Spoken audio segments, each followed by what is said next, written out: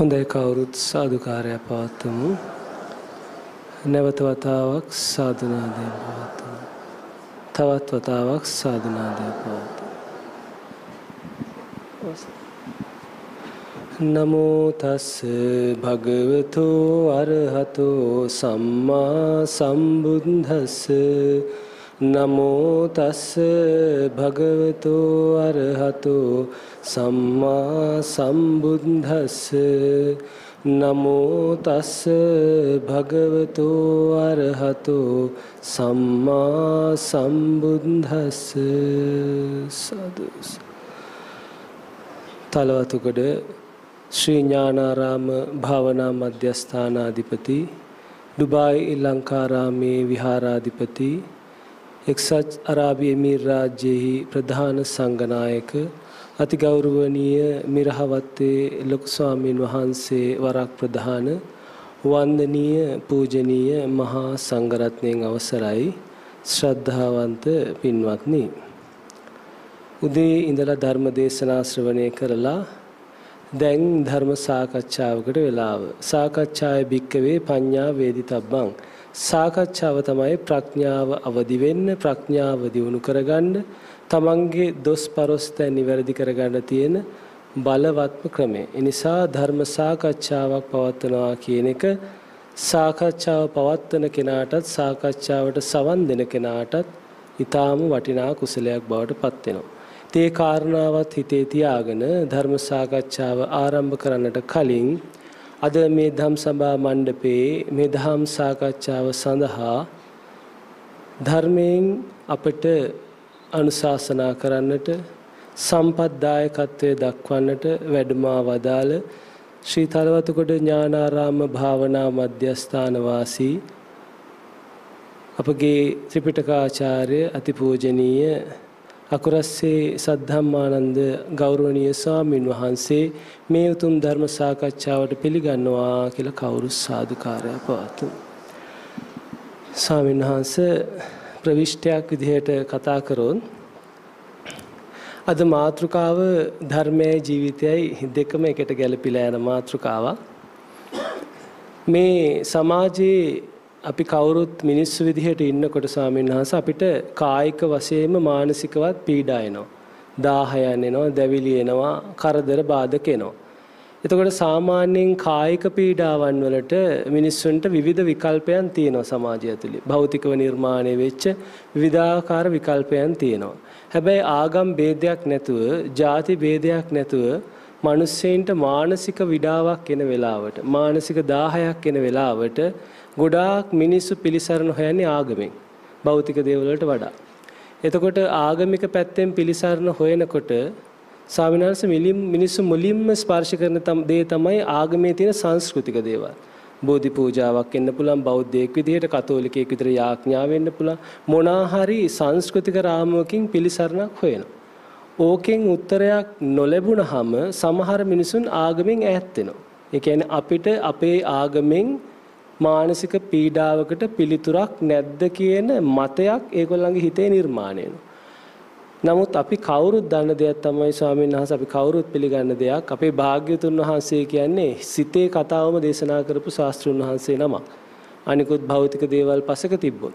ඒ නිසා අද අපි කතාවට මාතෘකා කරගන්නට යෙදුනේ මේ මානසික දාහය මානසික විඩාව විවිධ ප්‍රශ්න නිසා බදු ප්‍රශ්න වෙන්න පුළුවන් ඕනම දෙයක් නිසා මානසිකව 10ක් පීඩාවක් තියෙනවා නම් ඒකට ඇත්තටම බුද්ධ ශාසනයෙන් පිළිසරණක් බුද්ධ ශාසනය ඇතුලේ දෙයක් නැද්ද එහෙම නැත්නම් මේ තියෙන දේ අපිට ජීවිතයට ගලපා ගන්න බැරිද කියන කාරණාව ටිකක් සාකච්ඡාමය වශයෙන් මෙහෙව ගන්න. ඉතින් ස්වාමීන් වහන්සේ මේකට ප්‍රවිෂ්ටයක් විදිහට මම මේ වගේ ප්‍රශ්නයක් ස්වාමීන් වහන්සේට යොමු කරන්නම්. ස්වාමීන් වහන්සේ බුදුරජාණන් වහන්සේ කියන්නේ මේ ලෝකේ නිර්වාණ ධාතුව ලෝකයට පෙන්වලා ඒකට මාර්ගය පෙන්වලා මේ සසරට බැඳෙන්න හේතු පෙන්වලා මේ නිදහස් වෙන දේ පෙන්නපු නිර්වාණගාමී ප්‍රතිපදාව දේශනා කරපු එකම ශාස්ත්‍රඥ වහන්සේ. ස්වාමීන් වහන්සේ අපි අපහ අපි විතරකයක් නැතුවම දන්නවා.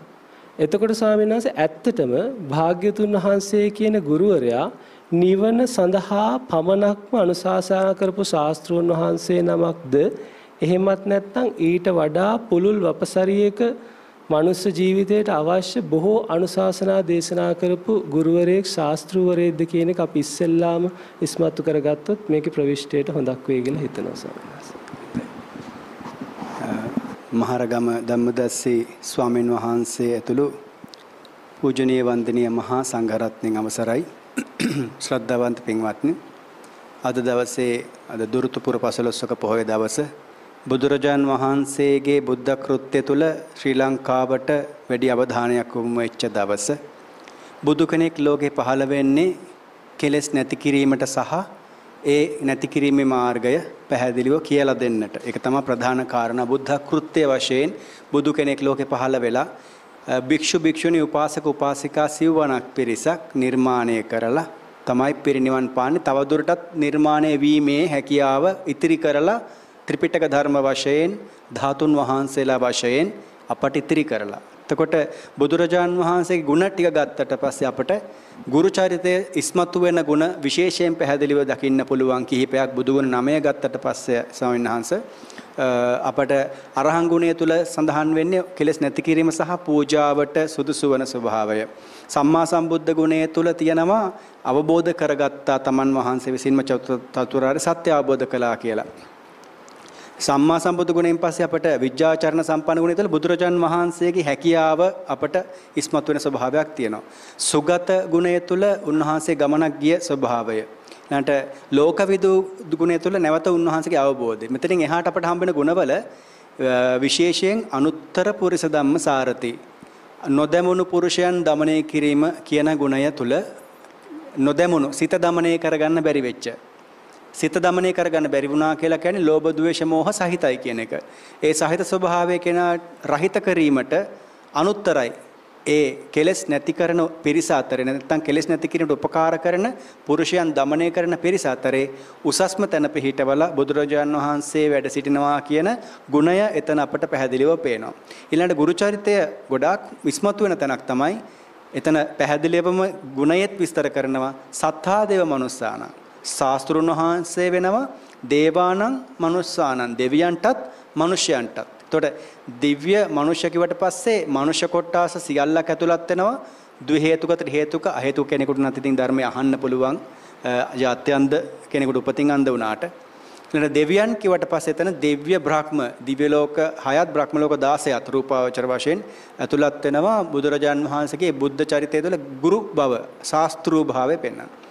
ඊළඟට අපට ආය මුණ ගැහෙනවා බුද්ධ කියන ගුණය තුල පැහැදිලිව තියෙනවා තමන් වහන්සේ චතුරාර්ය සත්‍ය අවබෝධ කරගත්තා වගේම අන් අයට දේශනා කිරීමේ වුමනාව ඒ කෘත්‍ය සම්පූර්ණ කිරීමේ ස්වභාවයක් බුද්ධ ගුණය තුල තියෙනවා. බුද්ධ ගුණය කියන ගුණය ගත්තම අපිට බුදු ගුණ වඩනයි මේ බහුතරයක් මෙතන ඉන්නේ භාවනා කරන පිරිස. අපි බුදු ගුණ භාවිතා කරනවා. අපේ සිතේ තියෙන කෙලෙසයන් යටපත් කරන්න අර සානසික පංච නීවරණ යටපත් වෙන්නට. එතනින් එහාට ලොකු වැඩ කොටසක් බුදුදහම තුල බුද්ධ දේශනාව තුල තියෙනවා. බුද්ධ කියන ගුණය තුල සම්මා සම්බුද්ධ ගුණයේ තියෙන අවබෝධ කළා කියන කොටසකුත් ශාස්ත්‍රූ භාවය සත්තා දේව මනුස්සානං ගුණයේ දේශනා කළ යුතු ස්වභාවයත් කියන ගුණ දෙක කැටි වෙලා බුද්ධ ගුණ බුද්ධ ගුණය සකස් වෙනවා. එතකොට ඒ ගුණ තුන තමයි විශේෂයෙන් බුදුරජාන් වහන්සේගේ මේ දේශක ස්වභාවය මතු කරලා පෙන්නන ගුණයන් දකින්න හම්බ වෙන්නේ. එතකොට ස්වාමීන් වහන්සේ දැන් අපේ ප්‍රශ්නය ඇතුලේ තවදුරටත් ගියොත් අපේ භාග්‍යවතුන් වහන්සේ දේශනා කරලා තියෙනවා නිවනට මාර්ගය. ඒ වගේම සමහර අවස්ථා දැකලා තියෙනවා ස්වාමීන් වහන්සේ අපේ භාග්‍යතුන් වහන්සේ ඉදිරියට ආපු පිරිසව මානසික පීඩාවකින් විඩාවකින් ඉන්න වෙලාවට ඒ අයව යම් අස්තමකට සනසන්න බුදුරජාණන් වහන්සේ යම් යම් දේවල් කරා ස්වාමීන් වහන්සේ. දැන් අපේ ළඟට කවුරු හරි ආවොත් ඇත්තටම අපිට ඒ කෙනාගේ ප්‍රශ්නය, ඒ කෙනාගේ දුර්වලකම, ඒ කෙනාගේ දේවල් දැක ගන්න නම් අපි ඇත්ත කතා කරන්න ඕනේ. වාට මොකද වෙලා තියෙන්නේ? ඔයාගේ ප්‍රශ්නේ මොකක්ද? මේ හැමදේම අපි අහලා දැනගන්න ඕනේ. නමුත් භාග්‍යතුන් වහන්සේ කියන කෙනා ළඟට කෙනෙක් ගිහාම උන්වහන්සේ අර සදාචාරාත්මකව ඇත්තටම ඇහුවට සමහර ලාට උන්වහන්සේට ඇත්තටම පේනවා ඇතුලේ තියෙන ස්වභාවය. බුදු ඇස කියලා ස්වාමීන් වහන්සේ අපි පැහැදිලිව ගන්නෙ. ඒතර දිබ්බ චක්කුව තියෙනවා, චක්කු චක්කු තියෙනවා, අසමන්ත චක්කු තියෙනවා, ඒ වගේම අන්තිමේදී බුද්ධ චක්කු තියෙනවා. ස්වාමීන් වහන්සේ මේ බුදු ඇස කියන කාරණය මේ මිනිස්යාට පිහිට වෙන වෙලාවට තථාගතයන් වහන්සේ පාවිච්චි කරන්නේ කොහොමද? අපි මේ තථාගතයන් වහන්සේ කියන්නේ කවුද? උන්වහන්සේගේ දේශනාව මොකක්ද කියන එක ඉස්සෙල්ලා මතු කරලම පස්සේ කාරණයට බහින්න අවශ්‍ය නිසා. එතකොට Eh, අපිට බුදුරජාන් වහන්සේ තුළ දකින්න පුළුවන් දැන් චතුරාර්ය සත්‍ය අවබෝධ දක්වා නිවන දක්වා කෙලස් නැති කරන මාර්ගය දක්වා මාර්ගය පෙන්නුවට බුදුරජාන් වහන්සේ ළඟට එන පිරිස එන්නේ කිලුටු හිතකින්. ඒක eh, සාරිපුත්ත මහරහතන් වහන්සේ පවා eh, එතන පරිබ්‍රාජක පිරිසක් එක්ක ඉගෙනගෙන උන්වහන්සේ කෙලෙස් නැති කරලා නෙමෙයි එන්නේ. එතකොට කෙලෙස් සහිතයි කියලා කියන්නේ මානසික වශයෙන් බුද්ධ දේශනාවට අනුව රෝගී. නමුත් ඒ රෝගී ස්වභාවය හඳුනා ගැනීමට අර ස්වාමීන් වහන්සේ කිව්වා වගේ අපට කෙනෙක් එක්ක කතා කරන්න වෙනවා. සමහරට බොහෝ කාලයක් ඇසුරු කරන්න වෙනවා. දැන් කර්මස්ථානාචාර කෙනෙක් වර්තමානයේ ගෝලයෙක්ව සෑහෙන කාලයක් ඇසුරු කරලා තමයි මෙයාට සුදුසු කමඨාන දේශනා කරන්නේ. නමුත් භාගතුන් වහන්සේගේ බුදුවැස තුල විශේෂයෙන් ප්‍රධාන වෙන්නේ සත්තානං ආසය අනුසේ ඥානෙ සහ ඉන්ද්‍රිය පරෝපරියත්‍ය ඥානෙ. එතකොට ඒ තුල බුදුරජාන් වහන්සේට පුළුවන් අවබෝධ කරණ එක අසාධාරණ ඥාන. එතකොට මහා කරුණා සමාපatti යමක මහා ප්‍රාතිහාරය සබ්බංවිත ඥානය අනාවරණ ඥාන මේවා ෂට් අසාධාරණ ඥාන. එතකොට ඒ තුල කමඨහනක් ලබා දීමේදී සත්තානං ආසය අනුසේ ඥාණයෙන් ඒ සත්වයාගේ ආශ්‍රව අනුශය මුල් බැසගත් කෙලෙස් සාංශාරික වශයෙන් කොහොමද ගොඩනගාගෙන තියෙන්නේ කියලා බැලීමේ හැකියාව සාරිපුත්ත ස්වාමීන් වහන්සේටත් නැහැ. ඒක අසාධාරණ ඥානයක් කියලා කියන්නේ ඒකයි. බුදුරජාන් වහන්සේ කෙනෙකුට පමණයි හැකියාව තියෙන්නේ ආසයානුසේ ඥාණයෙන් සත්වය සත්වයින්ගේ ඇතුළත මුල්ගේ බැසගත්ත කෙලෙසයන් බලා ගන්න අතීත වශයෙන්. එතකොට ස්වර්ණකාර ස්වාමීන් වහන්සේ තමයි හොඳම උදාහරණය. සාරිපුත්‍ර ස්වාමීන් වහන්සේට කමඨහන වැරදුනා. සාරිපුත්‍ර ස්වාමීන් අසුභ භාවනාව දුන්නට හරි ගියේ නැහැ. නමුත් බුදුරජාන් වහන්සේ වරුවක් ඇතුළත මුල් බැසගත්ත කෙලෙස ටික මතු කරලා ගන්නවා. මතු කරලා අරගන්නේ රත්තරන් වලින් තමයි යාගේ කෙලෙසේ තියෙන සංසාරේ. ඒතර රත්තරන් මලක්ම පෙන්නලා මතු කරලා ගන්නවා. අරගෙන ඒ එක්කම කෙලෙසයන් විනාශ කිරීමේ ක්‍රමයක් අනුගමනය කරනවා. ඊළඟට ඉන්ද්‍රිය පරෝපරියත්තේ ඥානය. මෙතන ඉන්ද්‍රිය කියලා කියන්නේ ශ්‍රද්ධා, විරිය, සති, සමාධි, ප්‍රඥා. ඒ ශ්‍රද්ධාව ප්‍රඥාව එක්ක සමබරද වීරිය සමාධිය එක්ක සමබරද? අසමබර වෙන්නේ කොතනද කියලා වර්තමාන වශයෙන් ඒ තමන්ගේ ශිෂ්‍යයාගේ ගෝලයාගේ ඒ හැකියාවන් බලා ගැනීමේ දුර්ලභතාවය බලා ගැනීමේ හැකියාව තියෙන්නේ බුදු කෙනෙකුට සම්මා සම්බුදු කෙනෙකුටම පමණයි. එතකොට ඒ අනුව බලලා බුදුරජාන් වහන්සේ මෙයාට ශ්‍රද්ධාව මදි ප්‍රඥාව නම් තැන් වැඩිලා තියෙන්නේ නම් ශ්‍රද්ධාව වැඩෙන විදිහට අහන ප්‍රශ්න ඕනම එකකට පිළිතුරු දීමේ හැකියාව බුදුරජාන් වහන්සේට දැන් අපිට එතනදී උදාහරණ දෙකක් තියෙනවා. අපට උදාහරණ දෙකේම ශ්‍රද්ධාව අඩු දෙන්නෙක් තමයි එන්නේ. එක්කෙනෙක් කාලවකයක්ෂයා. එයා ප්‍රඥාවන්තයි. නමුත් එතනදී ඒ වෙලාවේ ද්වේෂ සහගතව හිටියා ශ්‍රද්ධාව අඩුයි. ප්‍රශ්නෙට උත්තරي බලන්න ගාතාවේ. පටන් ගැනීම තියෙන සද්ධියද විත්තං. පුරිසස සෙට්ට පුරුෂයෙකුට වටිනා වස්තුව ශ්‍රද්ධාව. ඊළඟ බාරද්වාජ කුඹුරු කොට කොට හිටියා. දානේ මම කොටල වපුරලා ජීවත් වෙන්නේ. ඔයත් කොටල වපුරලා ජීවත් වෙන්න කිව්වා. ප්‍රඥාව තියෙන ශ්‍රද්ධාව නැහැ. එතකොට ඇහුව ප්‍රශ්නෙට කෝ නගුල කෝ ගවයෝ කියලා ඇහුවම උත්තරේ එන්නේ සද්ධි සද්ධා බීජං. සද්ධා බීජ අතර සද්ධාව මගේ බිත්තර වී ආරම්භය දෙනවා අඩුපාඩුව බලලා. අන්න එහෙම හැකියාවක් බුදුරජාන් වහන්සේට තියෙනවා. ඒ හැකියාව වෙනස් ශ්‍රාවකයෙකුට නැහැ. ඒ නිසා අප බුදුරජාන් වහන්සේගේ විශේෂ ඥාන දෙකට බුදු ඇස කියලා හඳුන්වනවා. බොහොම පිං ස්වාමීන් වහන්සේ දැන් ස්වාමීන් වහන්සේ ඉස්සෙල්ලා මතක් කරා මේ පුරිස ධම්මසාරතිය ගුණ ගැන. ගොඩාක් දෙනෙක් ඇත්තටම දන්නේ නැහැ මේ පුරිස කියන්නේ මොකක්ද කියලා. චුට්ටක් ඒකත් පැහැදිලි කරගෙන යමු ස්වාමීන් වහන්සේ. ඔව්. එතකොට මේ වැඩි හරියක් ඉන්නේ කාන්තාවනේ සාමාන්‍ය නේද? එතකොට අපව দমনය කරන්න බැරිද බුදුරජාණන් වූමනාවක් නැති නිසාද කියලා කෙනෙක්ට. පුරුෂ කියවට පස්සේ ඒ වචනය යෙදෙන්න හේතු දෙකක් පෙන්වනවා අපිට ධහම තුල එකක් පුරුෂයෙක් দমনය කරනවා නම් කාන්තාවක් පිළිබඳව ගැටලුවක් නැහැ. මොකද කාය ශක්තිය පැත්තෙන්නේ ප්‍රධාන দমনය කිරීම අවශ්‍ය වෙන්නේ මුලින්. මානසික দমনය පැත්තෙන් ගත්තම දෙගොල්ලොම හුඟක් දුරට සමානයි. කායික দমনයේදී පුරුෂයෙක් দমনය කිරීම කරනවා නම් කාන්තාවක් দমনය කිරීම සම්බන්ධ කායික ශක්තියක් බුදුරජාණන් වහන්සේට කොහොමත් හැකියාව තියෙනවා. අනිත් කාරණාව තමයි අපි මීට කලින් සාකච්ඡාවලදීත් කතා කළා බුදුරජාණන් වහන්සේගේ වාග් විලාශය පුත්ත කියන වචනය තුළ දූල පුතාලා අපි දැන්ටත් කියනවනේ. දුවෙකුට පුතා කිව්වට පුතෙකුට දුව කියන්නේ නැහනේ. දුවට පුතාට කාටත් පුත්ත. පුතා කියලා අපි ආමන්ත්‍රණය කරනවා. ඒක ඒ කාලෙදම තිබිලා තියෙනවා. ඊළඟට භික්ඛු කියන වචනේ මම කලින් දවසකත් විස්තර කළා. භික්ෂු භික්ෂුණී උපාසක උපාසිකාතර සියලු දෙනාට පොදුවේ ආමන්ත්‍රණය කිරීමක් වශයෙන් තමයි මෙතන පුරුෂ ධම්මසාරතය කියලා කියන්නේ. නැත්තම් වරදවාගෙන ස්ත්‍රිය দমনය කරන්න බැහැද කියලා හිතන්නේ. ඔව් ඒක හරි. ස්වාමීන් වහන්සේ දැන් ඒ කතාවත් විසිතුරු නිසා ඒ කියන්නේ ස්ත්‍රියක් দমনය කරන්නත් පුළුවන්. නමුත් අර ගොඩක් වෙලාවට සමාජයේ නෑනේ ස්ත්‍රිය দমন කරපු උදාහරණ. අර පුරුෂ ධම්මසාරදී කියන එකට දැන් ගොඩාක් කලාවට එක්ක යක්ෂයෙක් නැත්තම් පුරුෂ භාවයක් නැතිනේ. ඒ හින්දා නිකන් එහෙම හිතෙන්නත් ඉඩ තියෙන්න පුළුවන්.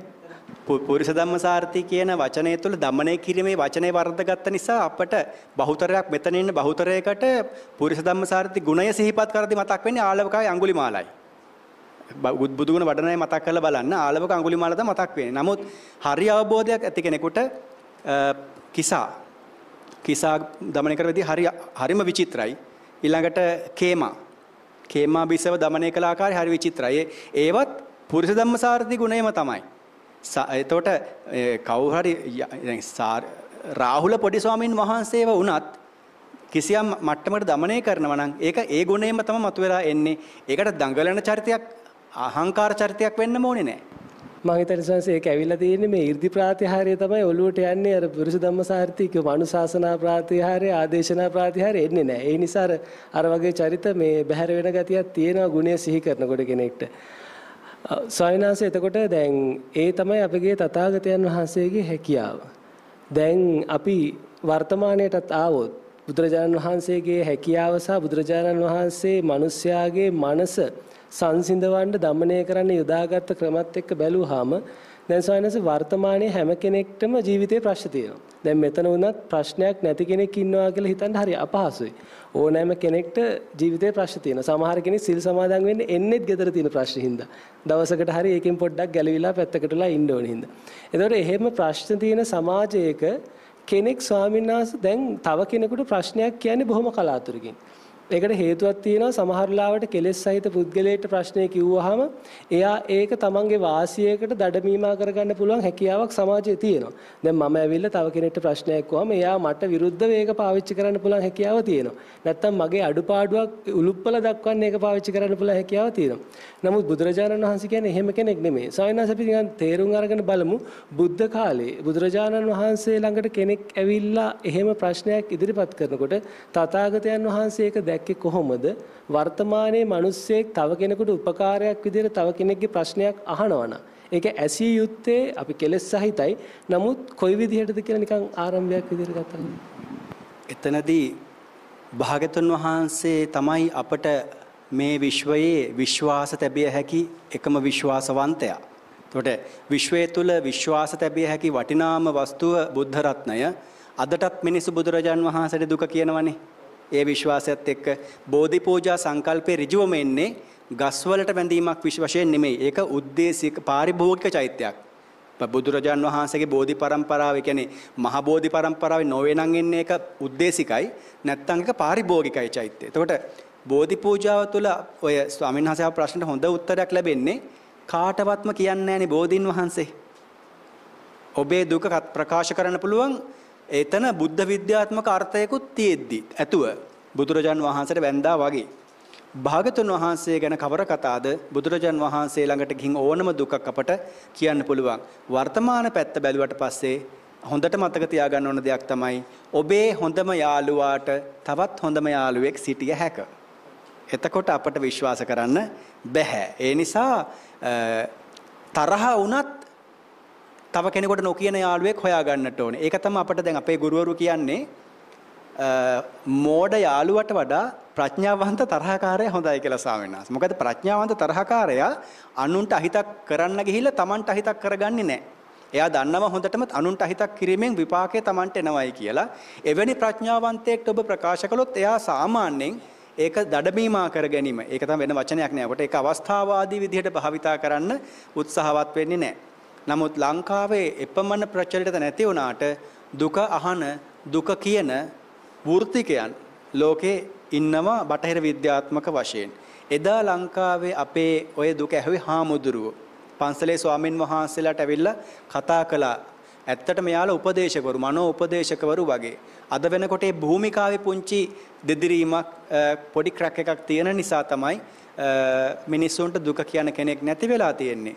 හැබැයි අපේ හිතේ තියෙන වේදනාව 140කට 50කට වඩා බටහිර විද්‍යාත්මක පරීක්ෂණ අනුව නිවා ගන්නට තව කෙනෙකුට කියන එකම ඇති. එතකොට ඒ කියන්න අවශ්‍යතාවය තියෙනවා. ඒක කියන්න කෙනෙක් නැති ප්‍රශ්නේ තමයි බොහෝ දෙනෙකුට තියෙන්නේ.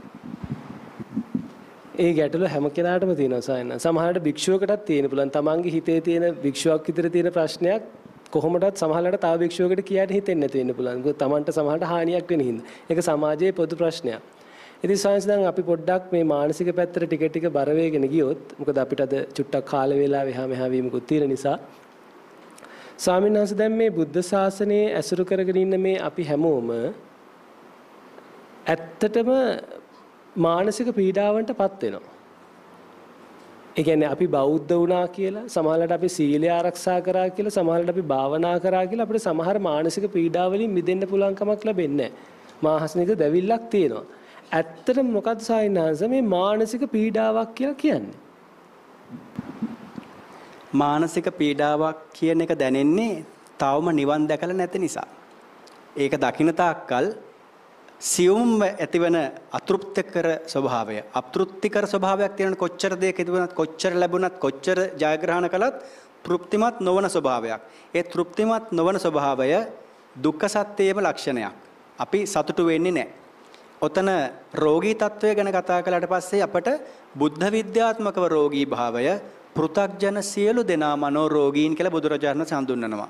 කියන්නේ මේ ලෝකයේ රෝග සූත්‍රයේ විස්තර කරන රෝගාකාර දෙකක් බුදුරජාන් වහන්සේ දේශනා කරනවා. කායික රෝග මානසික රෝග.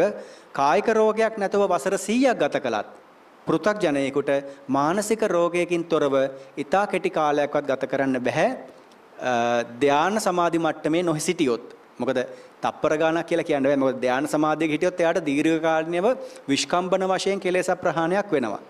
තදංග වශයෙන් හිර කරගෙන ඉන්න කෙනෙකුට ඒ කොයිල කෙලෙසේ කොයිම වෙලාවක මතුවෙන්න පුළුවන්. එතකොට බුදුරජාන් වහන්සේගේ මනෝවිද්‍යාවට අනුව මමත් ඔබත් මම දන්න තරමේ මේ සියලු දෙනාමත් මනෝ රෝගීන් හැටියට තමයි සංඛ්‍යා ලේඛන ගත වෙන්නේ. මොකද ලෝභ ද්වේෂ මෝහ සහ ඒ තදානුගතික ඒ සහජාත ප්‍රත්‍යයෙන් ප්‍රත්‍යන අනිකුත් කෙලෙසෙන් තියෙන නිසා.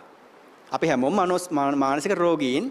හැබැයි බටහිර විද්‍යාත්මකව මෙතනින් බහුතරයක් ඒක අපිට සංඛ්‍යාවෙන් කියන්න බෑ මොකද දැනට වෛද්‍යවරු බටහිර විද්‍යාත්මක කියන විදිහට හතර දෙනෙක්ගෙන් කෙනෙක් කියලා සමහරව කියනවා 10 දෙනෙක්ගෙන් කෙනෙක් කියලා සමහරව කියනවා ආතතිය විෂාදය වගේ රෝග තත්ත්ව වලට ලක් වෙලා ඉන්නවා. එහෙම නොවන සියලු දෙනා ලෝභ ද්වේෂ මොහ මත උනත් එයාලා බටහිර විද්‍යාත්මකව මානසික රෝගීන් නොවන තත්ත්වයට තමයි ඒගොල්ලන් සංඛ්‍යා ලේඛන, ඒ කියන්නේ වර්ගීකරණය කරන්නේ. එතකොට අපේ මේ අතෘප්තිකර ස්වභාවය එක තැනකට ආවට පස්සේ තව ටිකක් ඉස්සරහට දුවන්න හිතෙන ස්වභාවය නිසාම අපි නිතර ධාවනයේ යෙදෙන ස්වභාවයක් දැක ගන්නට පුළුවන්. ඒ නිසාම අපි නිතර නිතර හිත ලෙඩ කරගන්නවා. ඒකෙන් යන්ත් මට්ටමකට හෝ මිදුන පිරිසක් හැටියට අපට කියන්න පුළුවන් භික්ෂුන් වහන්සේලා. දැන් මට මේ වෙලාවේ තියෙන ලොකුම අවශ්‍යතාවය මේ මගේ මත්ගෙන් අහන ප්‍රශ්නයට සාර්ථකව මේ පිරිසට යමක් සම්ප්‍රේෂණය කරවීම. එතනින් එහාට දෙයක් ලොකුවට නැහැ. ඒක ලොකු සැනසීමක් ඒක. ඒක ලොකු සැනසීමක්. ඒක ලොකු බලාපොරොත්තු දේවල් අනාගත ගැන සැලසුම් නැති හින්දා ස්වාමිනාසේ වචනේ කියපු හින්දා මම මේ දෙයක් මතක් වුණා. යෝග විද්‍යාව කියලා එකක් තියෙනවානේ ಭಾರತයේ සාමාන්‍ය බිහිවෙච්ච යෝග විද්‍යාවේ හැටියට මානසික රෝගයට හේතු විදිහට පෙන්නන සයනස චුට්ටක් ඔయిత සමාන දෙයක්. ඒ කියන්නේ මේ සාමාන්‍ය මිනිස්සෙගේ ඒ පරිණාමය ඒකළු පිළිගන්නවනේ. පරිණාමීය වශයෙන් එන දෙයක් කුසලතා දෙකක් තමයි අතීතය මතක් කිරීමේ හැකියාව සහ අනාගතය පරිකල්පනය කිරීමේ හැකියාව. අපි කාටත් ඒක තියෙනවා. ඒ කියන්නේ අතීත දෙයක් නැවත සිහි කිරීමේ හැකියාවත් අනාගතය නිර්මාණය කරලා මනසින් පරිකල්පනය කිරීමේ හැකියාවක් තියෙනවා. එතකොට මිනිස්සෙකුට තියෙන දුර්වලතාවය කියලා ඒගොල්ලෝ කියන්නේ මානසික පීඩාවටපත් වෙන්න මේ මොහතක මේ තුනක් තියෙනවා. එකක් අතීතයේ මානසිකාර කිරීමේ හැකියාව, අනිත් එක මේ මොහොතේ තියෙන අත්දැකීම, ඊළඟට අනාගතයේ පරිකල්පනය කිරීමේ හැකියාව. ඕක මේ හැම මොහොතක් පාසාම මිනිස්සු මනසේ තියෙනවා. එතකොට අර දෙකක් තියෙනවානේ අතීතයේ ගේන එකත් අනාගතයේ පරිකල්පනය කරන. ඔන්න ඕක හරියට බැලන්ස් කරගන්න බැරිකම නිසා තමයි කියනවා මේ මානසික පීඩාව ඇති වෙන්නේ. නැතුව මේ මොහොතට එන එක්ස්පීරියන්ස් එක අත්දැකීම කවදාකවත් මානසික පීඩාවක් උදා කරලා දෙන්නේ අර කාරණා දෙක මුල් කරගෙන තමයි කියනවා මානසික පීඩාව උදා කරලා දෙන්නේ. හරියට හරි ඒ කතාව අපිට දැන් මානසික රෝග පැත්තෙන් ගත්තම බටහිර විද්‍යාත්මක ගන්නකොට විෂාදය කාංසාව විෂාදයේ විශේෂ විෂාදය කියන රෝගය වැඩිපුරම ඇති වෙන්නේ අතීතයේ පිළිබඳව දුක් වීම සම්බන්ධ කරගෙන කාංසාව සහ භීතිකා භීතිකා ස්වභාවයන් ආතති ස්වභාවයන් සමහර ආතති ස්වභාවයන් අනාගතයේ මොකක් වෙයිදෝ කියන ස්වභාවයත් එක්ක ඇතිවෙන මානසික තත්ත්ව. ඒ දෙක බැලන්ස් කරගන්න බැරි ප්‍රශ්නේ තමයි තියෙන්නේ. ඒතර වර්තමානයේ තුල ජීවත් වීමටත් අතීතය අනාගතය සමබර කර ගැනීමටත් නොහැකියාව විශේෂයෙන් උග්‍ර මානසික ආබාධ වලට පත්වීමට හේතුවක් බවට පත් වෙනවා. ස්වාමීන් වහන්සේ දැන් අර විෂාදයේ ඒ වගේම බීතිකාව ගැන කතා කරපු නිසා බුද්ධ කාලේ හැම ප්‍රශ්න තිබිලා නැද්ද? දැන් මේ දැන් අදනේ දැන් මේ මාතෘකාව මේ විෂාදයේ තියෙනවා, බීතිකාව තියෙනවා, එක එක ඒවා තියෙනවා කියන්නේ අපි දැන් උග්‍ර මානසික රෝග වලට යන්න කලින් සාමාන්‍ය විෂාදය, ඔය බීතිකාව වගේ දේවල් බුද්ධ කාලේ තිබිලා නැද්ද? ඔව්. ගොඩක් දෙනෙක් අහනවානේ පිළිකා තිබුණේ නැද්ද? නෑ පිළිකා කෙලින්ම තියෙනවා ත්‍රිපිටකයේ ලියවිලා. කෙලින්ම තියෙනවනේ ආදීනව සංඥා. විෂාදය කියන්නේ රෝගය ගත්තට පස්සේ විෂාදය නියුරෝසිය සහ සයිකෝසිය කියන රෝග ආකාර දෙකටම ඇතුළත් වෙනවා. එතකොට සරල විෂාද මට්ටමක් තියෙනකොට එයාට අධික දුක්බර ගතිය මේ නළල රැලි වෙලා ඒ වගේ ගති ලක්ෂණ දකින්න පුළුවන්. ඒ වගේ ගති ලක්ෂණ වලට ලක්වෙච්ච පිරිස බුදුරජාන් වහන්සේ ළඟට අනිවාර්යෙන් එන්නට ඇති. අපට හම්බ වෙන හොඳම උදාහරණයක් තමයි විෂාදයට එක්ක එන සාමාන්‍යයෙන් උග්‍ර විෂාදයට ලක්වෙච්ච කෙනෙක්ගේ අවසාන බලාපොරොත්තුව මනසෙන් කියන්නේ මැරියා. මනස කියන්නේ ඔබ මැරියා. මැරෙන්න. දැන් තමයි වෙලාව. මෙහිමයි සැලැස්ම කියලා එයාට සුයිසයිඩ් කරන්න ප්ලෑන්ස් දෙනවා. එතකොට එහෙම තත්වයකටපත් වෙච්ච පුංචි දරවියක් තමයි අපට බුද්ධ ශාසනය තුළ හම්බෙන්නේ රජ්ජුමාලා. එයා සියදී නහගන්න තමයි සූදානම් වුණේ. එතකොට බුදුරජාන් වහන්සේ ඉදිරිපත් වුණා. ඊළඟට තවත් හොඳ උදාහරණයක් තමයි තමන්ගේ දරුවාගේ මරණය නිසා මානසික වියවලු භාවයටපත් වෙච්ච කිසා. පටාචාරා. මෙයාලට මේ විෂාදය කියන වචනය නොයෙදුනාට තමන්ගේ කයේ කයේ වස්ත්‍රයක් නැති බව පවා අමතක වෙන මට්ටමට එතුමින්ලා මානසික ව්‍යාකූල තත්ත්වයටපත් වුණා. තමන්ගේ දරුවා මිය ගියා කියලා පිළිගන්න බැරි තත්ත්වය දක්වා එතුමින්ලගේ මානසික තත්ත්වය වෙනස් වුණා.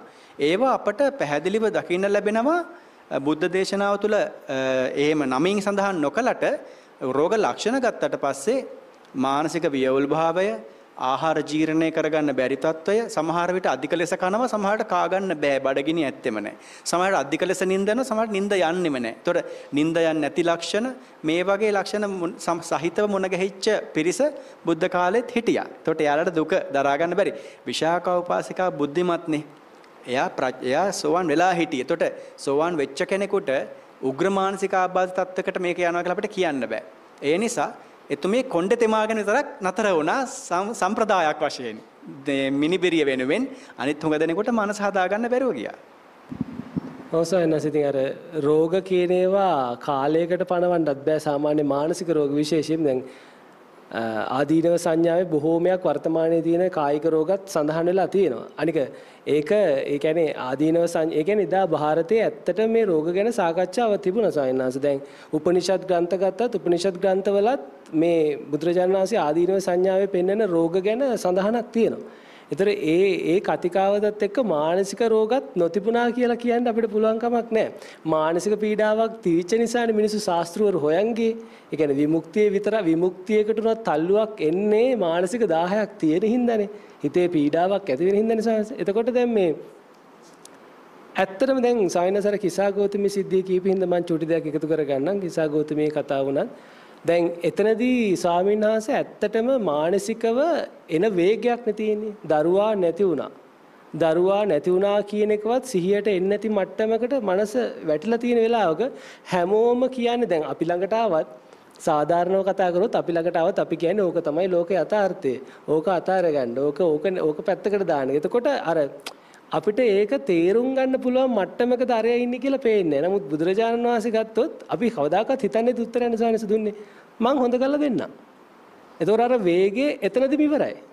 දැන් අපේ හිතේ තියෙන දුක එයාට උත්තරේ දෙන්න කලින් කඩලා ඉවරනේ සයන්ස්. මම හොඳ කරන්නම්. එතකොට අර පීඩා අඩු වුණා. හරි දැන් හොඳ කරන්න පුළුවන්. හොඳ කරන්න දෙන ක්‍රමේදී තමයි අවබෝධය හදලා දුන්නේ. අර ඒ වගේ සාමාන්‍ය ක්‍රමවේද භාග්‍යතුන් වහන්සේ පාවිච්චි කරා. ඉතින් ඒව මම හිතන්නේ වර්තමානයේදීත් මනෝවෛද්‍යවරු පාවිච්චි කරනවා ගොඩක් වෙලාවට. ඉතින් ඔය විෂාදයේ වගේ දේවල් කතා කරාම ස්වාමිනාස ඕකේ දැන් ওই මානසික වෛද්‍ය විද්‍යාව ගත්තොත් වර්තමානයේ සමහර රෝග තියෙනවා කතා කරලා විසඳන්න පුළුවන්. ඒ කියන්නේ කවුන්සලින් වලින් කරන්න පුළුවන්. සමහර රෝග මට්ටම් තියෙන හැම කරන්න බැරි. දැන් ගොඩාක් ගැඹුරටම ගියොත් එහෙම බුද්ධ කාලෙත් ওই தත්ත්වය තියෙන්නේ නැති. සමහර අයට කොච්චර කතා කරත් විසඳ ගන්න බැරි වෙන්නේ නැති. උග්‍ර වුණායින් පස්සේ ප්‍රතිකාර දක්වලා දැන් අර අසුබ භාවනාව වඩන්න දීලා සීදිවින අහගන්න තත්ත්වයට එනකොට අර සංඝයා ඔතන ඉන්න අනිත් සංඝයා කියන්නේ නැතිනේ ඕනතරම් වචනෙන් කතා කරලා එපා ඔහොම කරගන්න ඕනේ නෑ ඕක මෙහෙමයි මෙහෙමයි කියලා. නමුත් අර ඒ සීමාව පැන්නට පස්සේ කොච්චර වුණත් සායනාසේ වචනෙන් කිව්වත් ඕක පාලනය කරගන්න බැරි අවස්ථා එනව නේද සාමාන්‍ය මනෝවිද්‍යාත්මක සායනාස. බටහිර මනෝවිද්‍යාත්මකව එහෙම තමයි. එතකොට නියුරෝ 100 මට්ටමක් දැනටත් පිළිගන්නවා හොඳ කවුන්සිලර් කෙනෙකුට එහෙම නැත්නම් සයිකෝതെරපිස්ට් කෙනෙකුට බෙහෙත් නොදී කතා කරලා සහ විවිධ ක්‍රියාකාරකම් ඔස්සේ යහපත් මට්ටමට ගේන්න පුළුවන්. නමුත් සයිකෝසිය මට්ටමට උග්‍ර වුණාට පස්සේ ඒක වෙන්නේ මෙහෙමයි.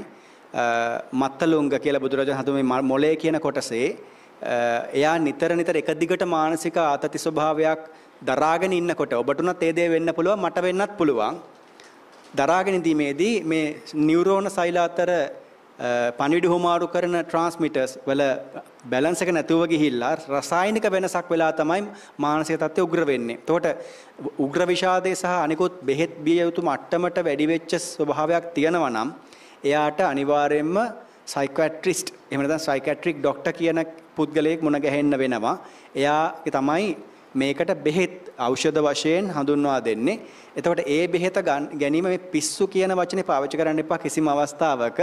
ඒක කියන්නේ ඒ මන්ද බුද්ධික පිස්සු කියන ඒ වගේ වචන වලින් මිනිසෙක පීඩාව ඇති කරනවා. මෙහෙම හිතන්න.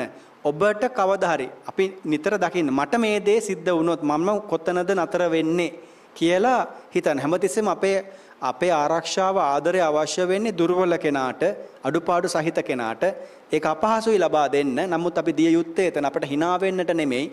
hina වෙනවා කියන්නේ ඔබ ඔබට hina වෙනවා කියන එක. ඒ අඩුපාඩුව තියෙන කෙනාගේ ඔබේ උදරාබාධයක් රසායනික වෙනසකින් උදරාබාධය සනීප කරනවා වගේ ඖෂධයකින් ඒ මොලේ රසායනික වෙනස හඳුනාගෙන ඒකට බෙහෙත ගන්නකොට ඒ ආබාධය සුව වෙනවා. කාලයක් තිස්සේ මේක සුව වෙනකොට මොකද කරන්නේ සාමාන්‍ය සයිකියාට්‍රිස්ට්ලා නිින්ද යන්න වෙහෙත් දෙනවා ස්වාමීන් වහන්සේ. ඒ නිින්ද යාමත් එක්ක මොකද වෙන්නේ මොලේට විවේකයක් ලැබිලා හොඳට අර ස්නායු නැවත ස්නායු හැදෙන්නේ ඒ කටයුත්ත විවේකීව හිටපු ස්නායු පිරිසක් බාර ගන්නවා. අපේ මොලේ සියලු ස්නායු වැඩ නැහැ. හුඟක් අය නිකන් ඉන්නේ. එතකොට අපිට මොකක් හරි ආබාධයක් වෙච්ච වෙලාවට තවත් පිරිසක් ඉන්නවා සජීවීව වැඩ කරන්න පුළුවන් මොළයේ සෛල. එයාලා වැඩ බාරගෙන සාමාන්‍ය ප්‍රකෘති මට්ටමකට ගේන්න හැකියාව තියෙනවා. එතකොට ඒ නිසා ඒක බටහිර විද්‍යාත්මකව ගත්තම උපදේශනය ඊළඟට මනෝවෛද්‍යවරු මුණ ගැසීම අවශ්‍යයි. බුදුරජාන් වහන්සේගේ පැත්තෙන් ගත්තම බුදුරජාන් වහන්සේ ඔය රසායනික වෙනස් වීම ලස්සනට කරනවා. ඒක බුදු වැසින් බුදුරජාන් දැකලම කරන්න හැකියාව තියෙනවා. අපට අඩුපාඩු දෙන අපට හැකියාව නැහැනේ. අඩුමතරමේ සාධාරණ ඥානයක් වෙච්ච පරිචිත්ත විඥානඥානයවත් වඩලා තිබ්බනම් මෙයාගේ මේ මොහොතේ හිතේ ස්වභාවයවත් අපට දැක ගන්නට අවස්ථාවක් තියෙනවා. එහෙම නොවෙන්නට අපට ඒ වගේ උපකාරයක් කිරීමේ හැකියාව නැහැ. ඒ නිසා බුදුරජාන් වහන්සේගේ පැත්තෙන් ගත්තම ඖෂධ පැත්ත බුදුරජාණන් දේශනා කළා තියෙනවා. නමුත් මානසික වශයෙන් බොහෝමයක් ඒ කියන්නේ හොඳ මට්ටමේ ඉන්න අරග හොඳ මට්ටමකට ගේන්න හැකියාව ලැබිලා තියෙන බව බුදුරජාන් වහන්සේට දක්ෂතාවයේ තියෙන බව පේනවා. නමුත් එතනොත් එහාට උග්‍ර භාවයකටපත් වුනාම ඇතැම් අවස්ථාවල බුදුරජාන් වහන්සේ ඒ අයට මෙන්න මේ විදිහට සලකන්න කියලා අනුකම්පා සහගතව සානුකම්පිතව එම්පති සහිතව සලකන්න කියලා කියප අවස්ථාවක් තියෙනවා. දැන් අම්මලටත් තියෙනවද දන්නේ නැහැ විවිධාකාර අපිටත් තියෙනවද දන්නේ නැහැ. අපිට මානසික යම් යම් ආබාධ ඇතිනේ. අපි දන්නේ නැහැ සමහරට කෙනේ Tamanට තියෙන දැන් සාමාන්‍ය ලෝකයේ ස්වභාවය තමයි ස්වාමීන් වහන්සේ. ලෝකේ අපි හැමෝම අනුන්ගේ දුර්වලතාවය හොයනවා. නමුත් කවදාකවත් අපි හැරිලා බලලා අපි අපේ දුර්වලතාවය හොයාගන්නේ නැහැ. ඕකනේ අපිට සසරට වැටෙන්නත් හේතුව. නිවන් දකින්න බැරි වෙන්නත් කාලේ අපි හැම වෙලේම බාහිරේ පැත්තටමයි නැඹුරු වෙලා ඉන්නේ. අපේ අඩුපාඩු හොයාගන්නේ නැහැ. එතකොට ස්වාමීන් වහන්සේ දැන් දහමෙන් ලෙඩේට උත්තරේ ගන්න ඉස්සෙල්ලා සාමාන්‍යයෙන් අපිටත් මේ ලෙඩ තියෙනවද කියලා අපි දන්නේ නැහැ සාමාන්‍යයෙන් නිකන් අපි නිකන් දැනගත්තොත් දැන් විෂාදයේ තියෙනවා ડિප්‍රෙෂන් තියෙනවා ඊට පස්සේ මේනියා කියලා එකක් තියෙනවා බයිපෝලර් ඩිසෝඩර් කියලා එකක් තියෙනවා. ස්ප්ලිට් පර්සනැලිටි කියලා එකක් තියෙනවා. ඊට පස්සේ මොකද්ද මේ ස්කිස්ෆීනියා සිංහලෙන් මේ බින්නෝන්මාදය කියලා එකක් තියෙනවා. එතකොට සායනස ඔය රෝගී තත්ත්වයන් අද සමාජයේ ඕන තරම් තියෙනවා. දැන් ඔය බෝධිසත්වරු පහළ වෙන්නේ බින්නෝන්මාදය වගේ දේවල් හින්දා. ඉතින් අර තමන්ට තමන්ගේ මෙහෙම රෝගයක් තියෙනවද කියලා හොයාගන්න මිනිස්සෙක් මේ දේවල් මොකටද දැනගෙන තියෙන එක හොඳ නේ හොඳයි නේද මොකද්ද මේ විෂාදය මොකක්ද කියලා ලාවට උග්‍ර විෂාදයේ ස්වභාවය එයාට කිසිම සතුටක් හිතේ නැහැ. එයා බොහොම දුකෙන් ඉන්නේ. ඇතුළට එනකොටම දැන් කුටියක් ඇතුළට කෙනෙක් කතා කරන එනකොටම සාමාන්‍යයෙන් දක්ෂ කෙනෙකුට පළපුරුදු කෙනෙකුට කියන්න පුළුවන් මේ නළල රැලි ටිකක් වැඩි මුහුණේ බිමට එල්ලිලා අර අපි කියන්නේ මේ නිකට දණහිය ගෑවෙනවයි කියලා. ආන්ගේ මට්ටමින් දීර්ඝ කාලීනව මෙයා ඉන්නවා. එයාට හිතේ සතුටක් ඇත්තෙම නැහැ. ඔක උග්‍ර තත්ත්වයටපත් වෙනවා. බොහොම භයානක මට්ටමකට දැන් පිළිගන්නවා. උග්‍ර විෂාද මට්ටමට ආවට පස්සේ මොකද සියදි විනහා ගැනීමෙන් කෙලවර වෙන නිසා. එතනින් එහාට සයිකෝසිය මට්ටම් බුද්ධ කාලෙත් අපිට මුණ ගැහිලා තියෙන බව පේනවා සාක්ෂි අනුව වර්තමානයේත් මුණ ගැහෙනවා ස්වාමීන් වහන්සේ ස්ප්ලිට් පර්සනැලිටි ස්ප්ලිට් පර්සනැලිටි කියේදී වෙන්නේ එක පාරම මෙයාගේ චරිත වෙනස් වෙනවා හොඳට නිස්කලංකව කතා බහ කරලා මේ උපාසක මහත්තයා වගේ හිටපු කෙනා එක පාරට මහා චණ්ඩියෙක් වගේ පාතාලේ කෙනෙක් වගේ වෙනවා ඒක වීම මානසික වශයෙන් තමයි බොහෝ විට වෙනස වෙන්නේ මනසේ නියුරෝන. ඒ කියන්නේ ඇතුලේ ඉන්නව ඕනම කෙනෙක් යකා. මතු පිටට පෙන්වන්නේ නැහැ. මනෝවිද්‍යාත්මකව පිළිගන්නවා ඕනම පිරිමි කෙනෙකුගේ සියුම් කාන්තාවක් කාන්තාවකගේ සියුම් පිරිමියෙක් ඇතුළාන්තයේ ඉන්නවා. එතකොට ඒ වගේම තමයි ශාන්තුරයෙක් වුණත් එයා නිවන් අවබෝධ දක්වාපු නැති කෙනෙක් නම් කිසියම් අවස්ථාවක එයාට අහිංසක අඟුලිමාල කරන්න පුළුවන්. ඒ ස්වභාවය ෂණිකව මතුවලා එනවා. ඒ ෂණිකව මතුවීම නිසා තමයි ස්ප්ලිට් පර්සනැලිටි කියන එක ක්ෂණික වෙනස් වෙනවා. හැබැයි ඇතම් කෙනෙක් මේක ගන්නවා සමහරට අපි අපි දන්නේ දැන් දෙවිවරුන්ට පුළුවන්කම තිබුණා කියලා පේනවා අපිට ත්‍රිපිටකය බැලුවම කෙනෙකුට ආරූඪ වෙන්න. මිනිසෙකුට කේ ශරීරයට ඇතුළත් වෙන්න. ඇතුල් වෙලා යක්ෂයන්ට ඒ කියන්නේ චාතුරු මහරජික පින්වන්ත පිරිසට හැකියාව තියෙනවා එහෙම ඇතුල් වෙලා කලබල කරන්න. අර සාරිපුත්‍ර ස්වාමීන් වහන්සේට දානෙකුත් සකස් කරෙව්වේ. ආන් ඒ වගේ වෙන්න පුළුවන්. ඒක ඒ පැත්තෙන් වෙන්නත් පුළුවන්. මේ පැත්තෙන් එකපාරම මෙයාට මානසික වෙනස් වීමක් වෙලා ස්ප්ලිට් වෙන්නත් පුළුවන් මෙයාගේ පෞරුෂය පෞරුෂ ද්වි පෞරුෂි පෞරුෂිකතාවය. මේනියා තත්ත්වවලදී වෙන්නේ දවස් 15ක් විතර හරි මේ කියන්නේ වෙන වචනයක් නෑ ජොලි. ඕ hina වෙනවා නටනවා මොකක්වත් හේතුවක් නැතුව මෙයාට හරි ෂෝක් දැන්. තවත් දවස් 15ක් විතර බිමටම වැටිලා විෂාදේ. උපරිම තැන. ඒක කියනවා මේ බයිපෝලා කියලා. ඒක ද්විද්‍රව ආක්‍රමිකතාවය. ওই වගේ ලක්ෂණ ඒ කාලෙත් තිබිලා තියෙනවා. බුදුරජාන් වහන්සේ කාලේ අපට හම්බ වෙන්නේ මේක ද්විද්‍රව වශයෙන් සතුට දුක වශයෙන් නෙමේ රාග අධික රාග අඩු වශයෙන් පක්කපණ්ඩක කියලා අපිට විනේ හම්බ වෙනවා. ඒ අයගේ කාලයකට රාගය උත්සන්න වෙනවා. තවත් කාලයකට රාගය බොහෝම අඩු වෙලා පහළට යනවා. ඒක දැන් අද පුරපසළොස්වක සාමාන්‍යයෙන් පුරපසළොස්වක තමයි රෝග උත්සන්න වෙන්නේ. එතකොට එයාගේ රාගය තියෙන කෙනා රාගය උත්සන්න වෙනවා. මේනියා තියෙන කෙනාට මේනියා ස්වභාවය උත්සන්න වෙනවා. ඔබ නිකන් පරීක්ෂා කරලා බලන්න ඔබේ තුවාලයක්. වෙනත් ඔළුව කැක්කුමක් වගේ දෙයක් තිබුණත් පුරපසළොස්වක දවසට චුට්ටක් ඕක උත්සන්න වෙනවා. මොකද හඳේ ගුරුත්වය හේතු කරගෙන. අන්න ඒ නිසා මේ මේ මොකද්ද බයිපෝලා වෙන්න පුළුවන්. Hallucinations and uh, delusions ඒ කියන්නේ මේවා මේ සිසොෆ්‍රේනියා වල බින්නෝන්මාදේ ගොඩාක්ම උග්‍ර මානසික රෝගයක්. එතනදී දැන් මම ඔයාලට කිව්වේ මේ වගේ. එයාට visual hallucination එකක් දෘශ්‍ය ස්වභාවයක් එනවා භ්‍රාන්ති. දැන් මම ස්වාමීන් වහන්සේත් කතා කරගෙන ඉන්න ගමන් පොඩ්ඩක් ඉන්න මම මේ නෑ දැම්ම එපා තව චුට්ටකින් කියන්නේ කියලා මම සංසේ කතා කරනවා. ආ ටිකක් කළා කතලා නෑ කහට හොඳයි මේ එපා ගේන්න වෙන මොකුත් ඕනේ නෑ. දැන් ඔයාලා ඔක්කොම බලන කාත් එක්කද? මම මට ඒක දැනෙන්නේ නෑ. මම කෙනෙක් එක්ක මෙතන කතා කරනවා. මට මෙතන ස්වභාව ඇත්තටම මිනිස්සෙක් ඉන්නවා. ඒක මම පිළිගන්නේ නැහැයි කියලා. ඔබ පිළිගන්නේ නැහැ ඉන්නවයි කියලා. හැබැයි සිසොෆ්‍රීනියා තියෙන රෝගියාට මෙතන කෙනෙක් ඉන්නවා. විෂුවල් හැලුසිනේෂන් එකක්. එයා කියනවා මෙතන අනිවාර්යෙන් මිනිස්සෙක් මාත් එක්ක කතා කරනවායි කියලා. ආන්න ඒක මනසේ වික්ෂිප්ත භාවයක් නිසා තමයි සිද්ධ වෙන්නේ. තවත් එකක් තියෙනවා මේ ඩිලූෂන්ස් විදිහට මේ ස්වාමීන් වහන්සේ මම තමයි ඊළඟට බුදු වෙන්නේ.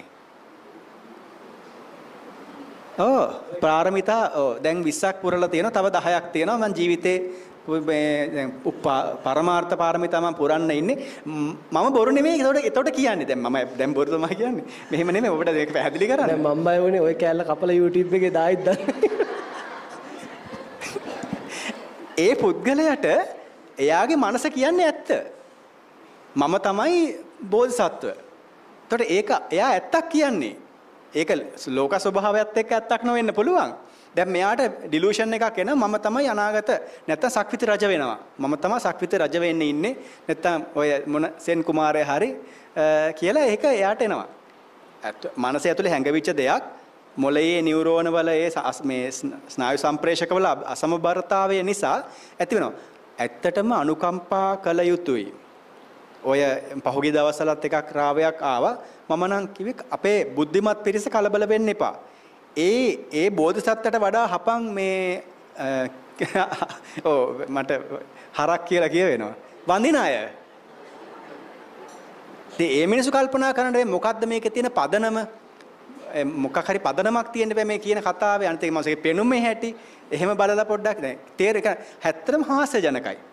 හැබැයි මම ඒ පුද්ගලට hina වෙන්නේ නැහැ. මොකද එයා අනිවාර්යයෙන්ම මානසික තත්වයේ ඒ ස්වභාවයක් තියනවා වෙන්න ඇති කියලා මටත් හිතුණා. මේ අපි අනුකම්පා කරන්නට ඕනේ. එහෙම කෙනෙක් ඔබ ළඟට අවිලා කිව්වොත් එහෙම මම තමයි ඊළඟ ජනාධිපතිවරන්ට ඉල්ලන්නේ අහවල් පක්ෂයෙන් කියලා පුංචි ළමයෙක් හරි දැන් තරුණ කෙනෙක් හරි වෙන්න බැරි විදිහට පොඩ්ඩක් හොයලා බලන්න ඇයි එහෙම කිව්වේ කියලා. හැබැයි එහෙම දෙයක් තියෙනවා. මානසික ආබාධයක් උග්‍ර වෙච්ච කෙනෙක්ට විරුද්ධව කතා කරන්න එපා. ආ ඇත්තද? පොඩ්ඩක් ඉන්න මමත් ඒකට මේ උදව් කරන්නම් කියලා මොකක් හරි උපායක් යොදලා තව චුට්ටක් හොයලා බලන්න ඇත්තටම මෙයා මේක කියනවද? මෙයාට ඇත්තටම එහෙම දැනෙනවද?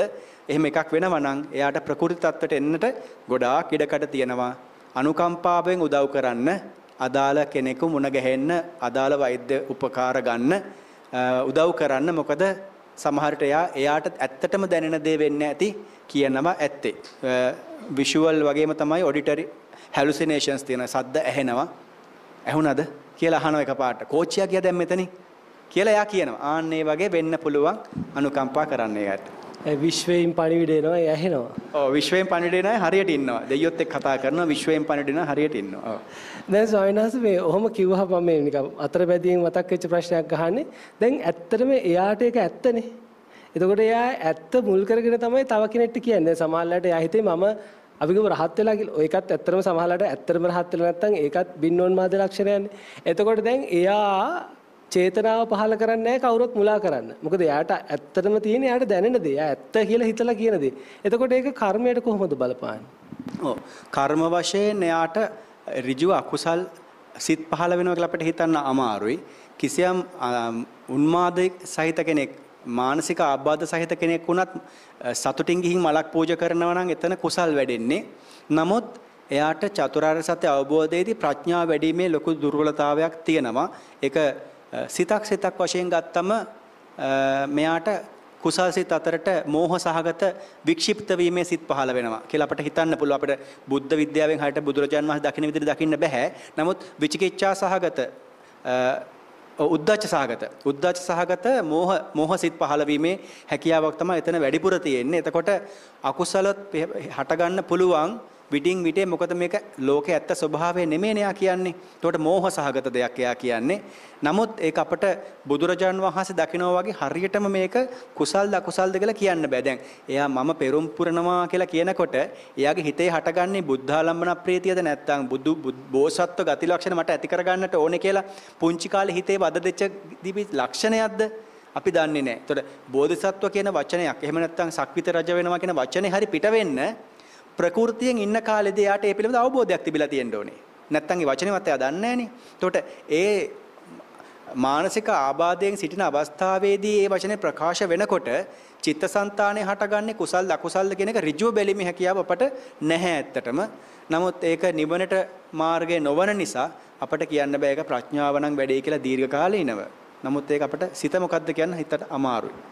මොකද එහෙම අපිට වෙන් කරගන්න බැරුව අපි ඒ කෙනාට චෝදනා කරන්න ගියොත් අපි අකුසල් රැස් කරගන්නවා කෙසේ වෙතත්. අර එයා කොහොම වුණත් අපි කරගෙන ඉවරයි. එහෙම දෙයක් තියෙනවා. එතන සායනස දැන් මේ වර්තමානයේ ගත්තත් දැන් අතීතයෙන් බුදුරජාණන් වහන්සේ එක එක ක්‍රමවේද පාවිච්චි කරන්නේ නැතිනේ මිනිස්සුන්ගේ මනසත් එක්ක ගනුදෙනු කරන්න. ඒ කියන්නේ ආපු ගමම්ම නිවන දේශනා කරේ නැහැනේ කොහොමත් ආගිය තොරතුරු විමසනවා. ඒ කියන්නේ මිනිස්සයා සාමාන්‍ය සදාචාරාත්මක දේවල් පවා පාවිච්චි කරන්නේ. බුදුරජාණන් වහන්සේ පාවිච්චි කරපු ක්‍රමවේද මොනවාද? මිනිස්සෙගේ මනසත් එක්ක ගනුදෙනු කරද්දී එයාට එකපාරට යාව නිවනට දාන්න කලින් එතනදී ප්‍රඥාවන්ත පිරිස බුදුරජාණන්සේ මුලින්ම හඳුනා ගන්නව උග්ගටිතඤ්ඤු වශයෙන් විපචිතඤ්ඤු වශයෙන් ඤෙය්‍ය වශයෙන්. උග්ගටිතඤ්ඤු කෙනා දැක්ක ගමන් බුදුරජාණන් වහන්සේ යොමු කරන ප්‍රධාන පරමාර්ථවලට මොකද බුදුරජාණන් වහන්සේ පහසුයි එයාට බෙහෙත පොවන්න ලේසි. එතනින් එහා ඉන්න පිරිසට බුදුරජාණන් විවිධ උපක්‍රම පාවිච්චි කළා අපි අර කලින් කතා කරපු උදාහරණෙත් එක ගත්තොත් එහෙම සම්මානාත්මතා ප්‍රදර්ශනයක් කරනවා. ඔයාට විතරක් නෙමෙයි අනිත් අයටත් මෙහෙමයි. එතකොට ඔයාගේ දරුවා මැරිලා කියලා මේවා අනිත්‍යයි. ඕවා ගණ කරන්න දෙයක් නැහැ. දැන් ඔයා අම්මා කෙනෙක් මන් දන්නවාගේ දුක. එහෙම අපි කියාවි. අර ස්වාමීන් වහන්සේ කිව්වාගේ. නමුත් බුදුරජාණන් වහන්සේ දන්නවා මේ වෙලාවේ කිසාට මේක කිව්වට තේරුම් ගන්න තරම් මානසික මට්ටමක් නැහැ. ඒ නිසා ටිකෙන් ටික මේක තේරුම් ගන්න ඕනේ. එතනදී සමානාත්මතා ප්‍රදර්ශනයේ බුදුරජාණන්සේ පෙන්වන්නේ උපක්‍රමයක් යොදලා අබෑට කතාව හැමෝම දන්නවා. එතනදී වෙන්නේ මොකක්ද? අපේ ගෙදර නම් අවුරුදු 60ක මහත් අපේ මහත්තයා මිය ගියා. ඊළඟ ගෙදරට යනවා. මගේ අවුරුදු 20 පුතා මිය ගියා. තව ගෙදරට යනවා. අපේ අවුරුදු 90යි අපේ ආච්චි අම්මට මිය ගියා. මගේ දරුවා ඉපදිච්ච ගමන් මිය ගියා. ඉපදිච්ච ගමන් මම මගේ දරුවට අවුරුදු 2යි. තව ගෙදරකට යනවා. අනුක්‍රමික වශයෙන් ක්‍රමානුකූලව මෑට අවබෝධයක් එනවා මැරෙන්නට වයසක් නැත. එතකොට මගේ දරුවට මොකද වෙලා තියෙන්නේ? ටිකෙන් ටික. එතකොට එයාට සමානාත්මතාවයක් දැනෙනවා. මට විතරක් නෙමෙයි මේක අනිත් අයටත් පොදු ලක්ෂණයක්. අපේ අය එහෙම සතුටු වෙනවනේ. දැන් කතාවක් තියෙනවනේ මේ ලංකාවේ පිටරටක කරන්ට් එක ගියාම බ්‍රේක් ඩවුන් එකට කෝල් කරන්න පුතේ කියලා කියනවලු. අපේ ගෙදරක කරන්ට් එක ගියාම පුතේ අල්ලපු ගෙදරට නැද්ද කියලා බලහන් කියලා. කියන්නේ අල්ලපු ගෙදරට නැත්තම් කමක් නැහැ. ඒක නිසා අර අනිත් අයගෙත් මැරෙන නම් කමක් නැහැ. පොඩි දරුවෝ. කිසාට ඒක තේරුණා. අවබෝධයක් ඇති වුණා. එයාට කමඨහන ගැලපෙන්නේ එතන. ඉතින් බුදුරජාණන් ඒක දන්නවා. ඒ නිසා බුදුරජාණන් වහන්සේ සම්මානාත්මතා දර්ශනය එතන ප්‍රදර්ශනය කළා. ඊට අමතරව තව ක්‍රම තියෙනවා අපි ඉදිරියට කතා කරමු ඒක. ඒක නැත්ත ඕනනම් සවනස මම ඒක මෙතන එනවා අපිට තව කතාවක්. ඊළඟ ක්‍රමයේ ගත්තොත් ආලවකට අම්මා කෙනෙක් පුංචි දරුවෙකුට මොන හරි බත් ටිකක් කවා ගන්න ඕනුනාම එයා පැන්සල ඉල්ලලා අඬනවා බෝලයක් ඉල්ලලා අඬනවා මිදුලට එක්කන් යන්න කියලා කියනවා මම දන්න තාත්තා කෙනෙක් හිටියා ස්වාමීන් වහන්සේ කිලෝමීටර් 200ක් 300ක් ඈතින් කෝච්චි පාර තියෙන ස්ටේෂන් එකේ ගෙදරින් නම් කෝච්චි පාර දක්වා යනවා අර බච්චුට්ට කවා ගන්න කෝච්චි බලන්න. එතකොට ඒ වගේ අනුකූලතා ප්‍රදර්ශනය කියන ක්‍රමය පාවිච්චි කරන බුදුරජාන් වහන්සේ ගෝලයාට අනුකූලව මම ඉන්නවා. ඔයාට ඕන විදිහට මම ඉන්නවා කියලා පෙන්නලා උදාහරණය වලට මතක් වේවි. එළියට යන්න කිව්වා බුදුරජාන්සේ ගියා. ආලවක. ඇතුළට එන්න කිව්වා ආවා. ඒ ඇතුළ එළියට යාමේදී නිකං බුදුරජාන් වහන්සේ එළියට වඩිනවා නෙමෙයි. හොඳ අවධානයෙන් ඉන්නේ ආලවකගේ හිත ගැන. මේ මොහොතේ ආලවකගේ මොන ඥාණයෙන්ද බලන්නේ? ඉන්ද්‍රිය පරෝපරියත් ඥාණයෙන් එයාගේ ඉන්ද්‍රිය සම්බරතාවය බලනවා. මෙයාගේ සිතේ තියෙන द्वේෂය තුනී වෙන හැටි බලනවා. द्वේෂය තුනී වෙන ස්වභාවය බල බල තමයි බුදුරජාණන්සේ එක වතාවක් එළියට ගියා. නැවත ආවා දෙකයි ආවා තුනයි එනකොට බුදුරජාණන් දන්නවා මෙතනින් එහාට මෙයා කායික හිංසාවක් කරන්න ඉදිරිපත් වෙන්නේ නැහැ. දැන් මෙයාගේ සීතල වෙච්ච හදවතක් තියෙන යම් මට්ටමකට ඒ නිසා මම යන්නේ නැහැ. නක්වහන් නිකමිස්සාමේ යන්තේ කරණියන් තන් කරෝහි. පුළුවන් දෙයක් තියෙනවා කරන්න. කෙලින්ම කිව්වා.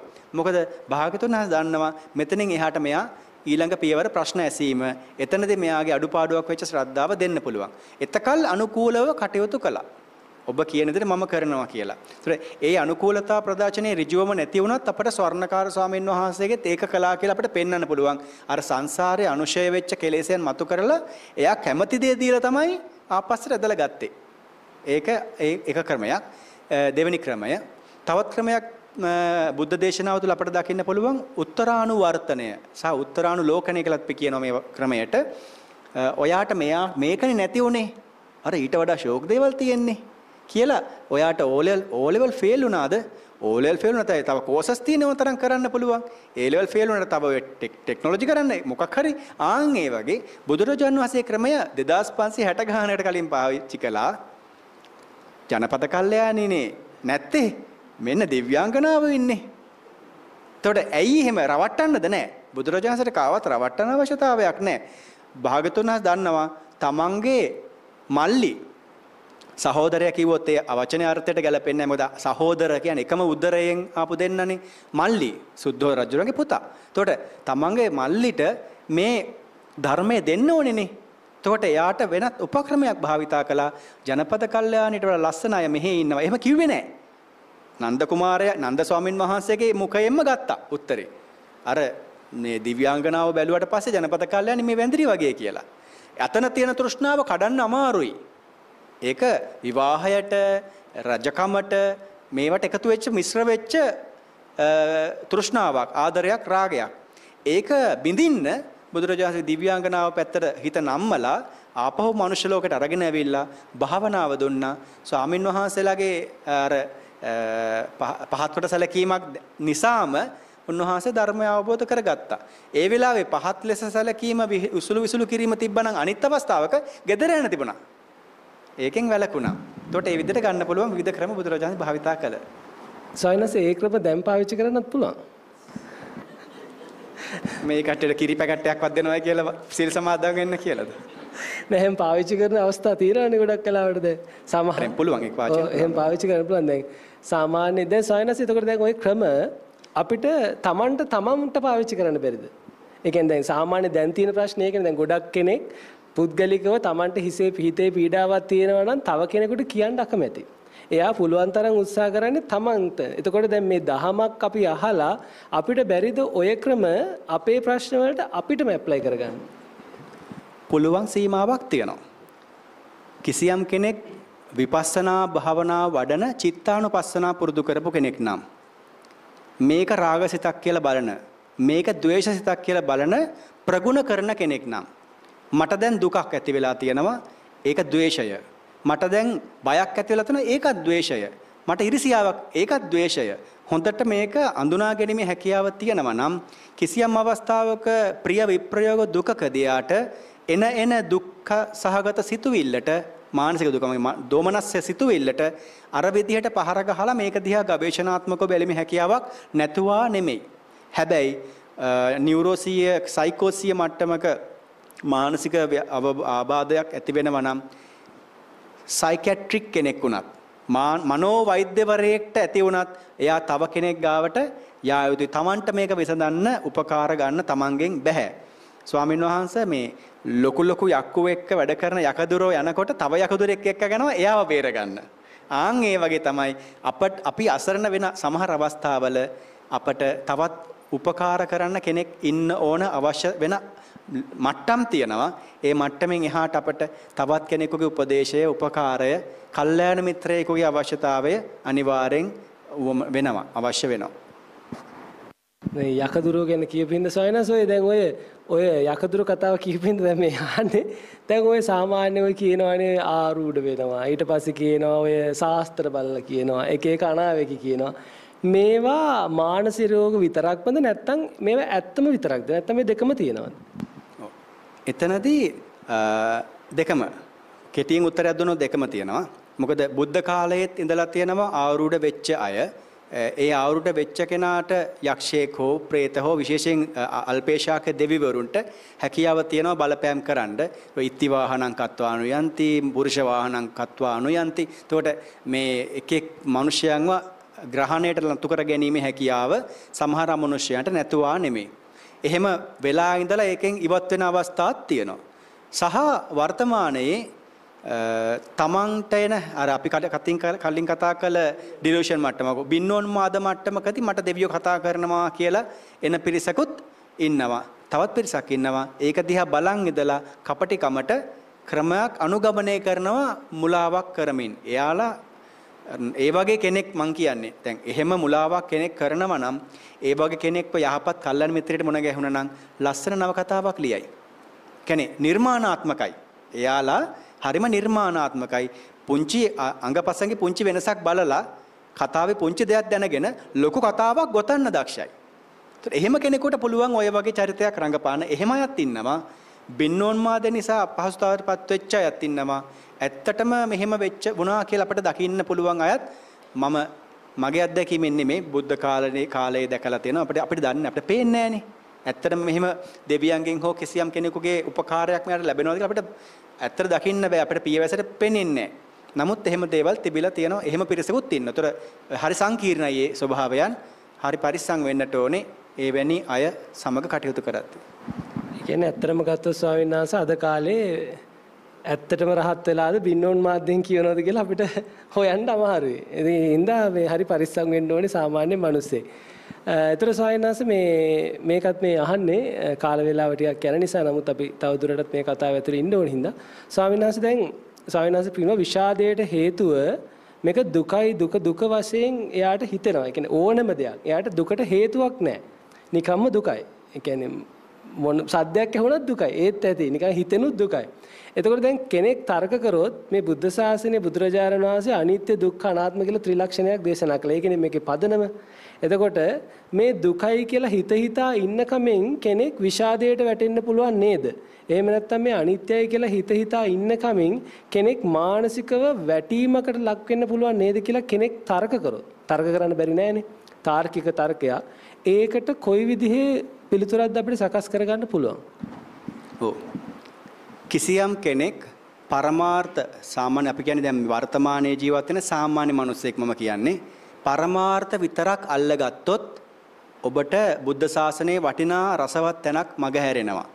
අනිත්‍යයි තමයි, දුක්ඛයි තමයි, අනාත්මයි තමයි. නමුත් අම්මා තාත්තා කුසල කුසල පින්කම මල් පූජාව මේ විවිධාකාර හරි මේ ශාසනය හරි විචිත්‍රයි. ඒ සෑම තැනකම අපට ලබන්න පුළුවන් දේවල් තියෙනවා. ඒ නිසා අපි පරමාර්ථය විතරක් අල්ලගනී කියන සැකය නිසා තමයි බුදුරජාණන්සේ පුද්ගල පඤ්ඤාතියක් අභිධර්මයට දෙන්නේ. පුද්ගල පඤ්ඤාති ප්‍රකරණේ කියවලා බලන්න එතන තියෙන්නේ ප්‍රඥාප්තියක්. පුග්ග මිනිස්යෝ පිළිබඳව. ඒ කියන්නේ පටවියාපෝ තේජෝ වායෝ වර්ණ ගන්ධ රස ඕජා මේක රූප නාම ධර්ම වශයෙන් තිබ්බට මෙතන මෙහෙම දෙයක් ඉගෙනගත යුතුයි කියලා ආභිධර්මිකයා අභිධර්මයේ තුල අනවශ්‍ය ලෙස ගිලා බැසීම වළක්වන්න බුදුරජාන් වහන්සේ පුද්ගල පඥාතිය දෙනවා. එතකොට සාමාන්‍ය බුද්ධි මට්ටමක් තියෙන ඔබත් මමත් අපි හැමෝම අනිත්‍ය දුක්ඛ අනාත්ම ත්‍රිලක්ෂණයේ අවබෝධයත් එක්ක මේ ගමන යනකොට මේක තුල අසුභය අනිත්‍යතාවය තේරුම් ගන්නට ඕනේ හරි අවබෝධයෙන්. ඒ නිසා අපිට කම්මට්ටානාචාර්යවරයෙක්. ඒකයි භික්ෂුන් වහන්සේ කෙනෙකුට ස්වාමීන් වහන්සේ වසර 5ක ගුරුවරයෙක් ගාව ඉන්න කියලා අපේ අපේ යෝගාශ්‍රම සංස්ථාවේ වැඩිහිටි සායනසලා කියන්නේ. අපි හිටියේ ඒකයි. ගුරුවරයෙක් ළඟ ගුරුවරයෙක් පෙනිපෙනි ඉන්න ඕනේ. එතකොට තමයි මේ උපකාරය ලැබෙන්නේ. අපි ගිහින් කතා කරනවා. මට මෙහෙම හැඟීමක් ඇති වෙනවා. මට මෙහෙම දෙයක් දැනෙනවා ස්වාමීන් වහන්සේ කියලා පළපුරුදු කෙනෙක් එක්ක කතා කරනවා. එතකොට මේ කමටහන සුද්ධ වෙනවා අපේ. නිතර නිතර ඔබ වඩන කමටහන දැන් මේ දවස්වල එහෙනම් ආයස්තුන් අසුබය වැඩුවා ඇති දැන් චුට්ට මෛත්‍රිය වඩන්න කියලා පොඩ්ඩක් බැලන්ස් කරලා දෙනවා. එහෙම නොවි ගියොත් එහෙම යාට වැරදෙනවා. අනිත් එක තමයි නිතර නිතර අසුබයි අනිත්‍ය දුක්ඛ අනාත්මයි කියලා වැරදිට අල්ලා ගැනීම නිසා විෂාද මට්ටමට එන්නත් පුළුවන්. එහෙම නැත්නම් විෂාද මට්ටමට ආපු කෙනෙකුට එහෙම දැනෙනවා කියන එක ඒ ස්වභාව ඒක ඇත්ත නෙමෙයි අවබෝධ නෙමෙයි. ඒක ඇවිල්ලා බොරුවක්. එතන යාට දැනෙන්නේ විකෘති ස්වභාවයකින්. ඒ නිසා මම මේ පින්වතුන්ට මතකදී මම භාවනා වැඩසටහන වස් කාලේ පටන් ගද්දි කිව්වා ආනාපාන සති භාවනාව කරන්න බෑ මානසික බටහිර මනෝවිද්‍යාවට අනුව මානසික සුවපත් භාවයක් නැති කෙනෙකුට විෂාදයේ තියෙන කෙනෙකුට ආනාපාන සත් දුන්නොත් එහෙම අර ඉබ්බදියේ දැම්ම වගේ එයාත් කැමති තනි වෙන්න.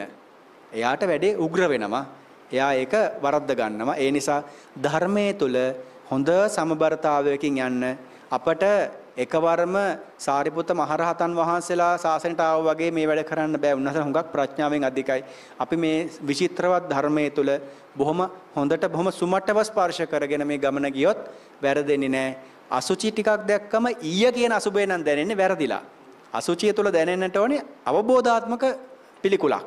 ඒ පිළිකුල වෙනයි ඊය කියන පිළිකුල වෙනයි.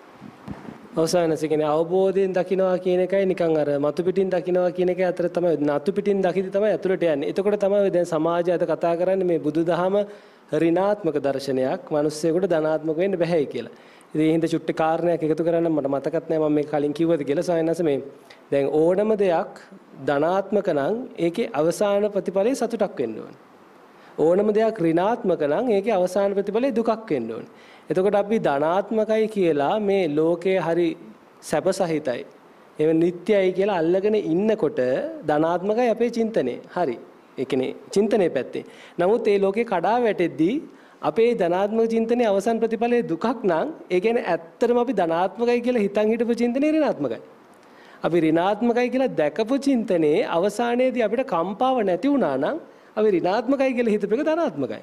ඉතින් අර ඒ නිසා මේ අනිත්‍යයි දුක්ඛයි අනාත්මයි කියන එකට ස්වාමීන් වහන්සේ කිව්වා වගේ අපි අනිත්‍යයි දුක්ඛයි ගමකෝ මානසික විෂාදයට ලොකුටම බලපාන්නේ අනිත්‍යයි දුක්ඛයි කියන එක අනාත්මයත් බලපානවා ස්ප්ලිට් පර්සනැලිටි අරම මේවට එනකොට.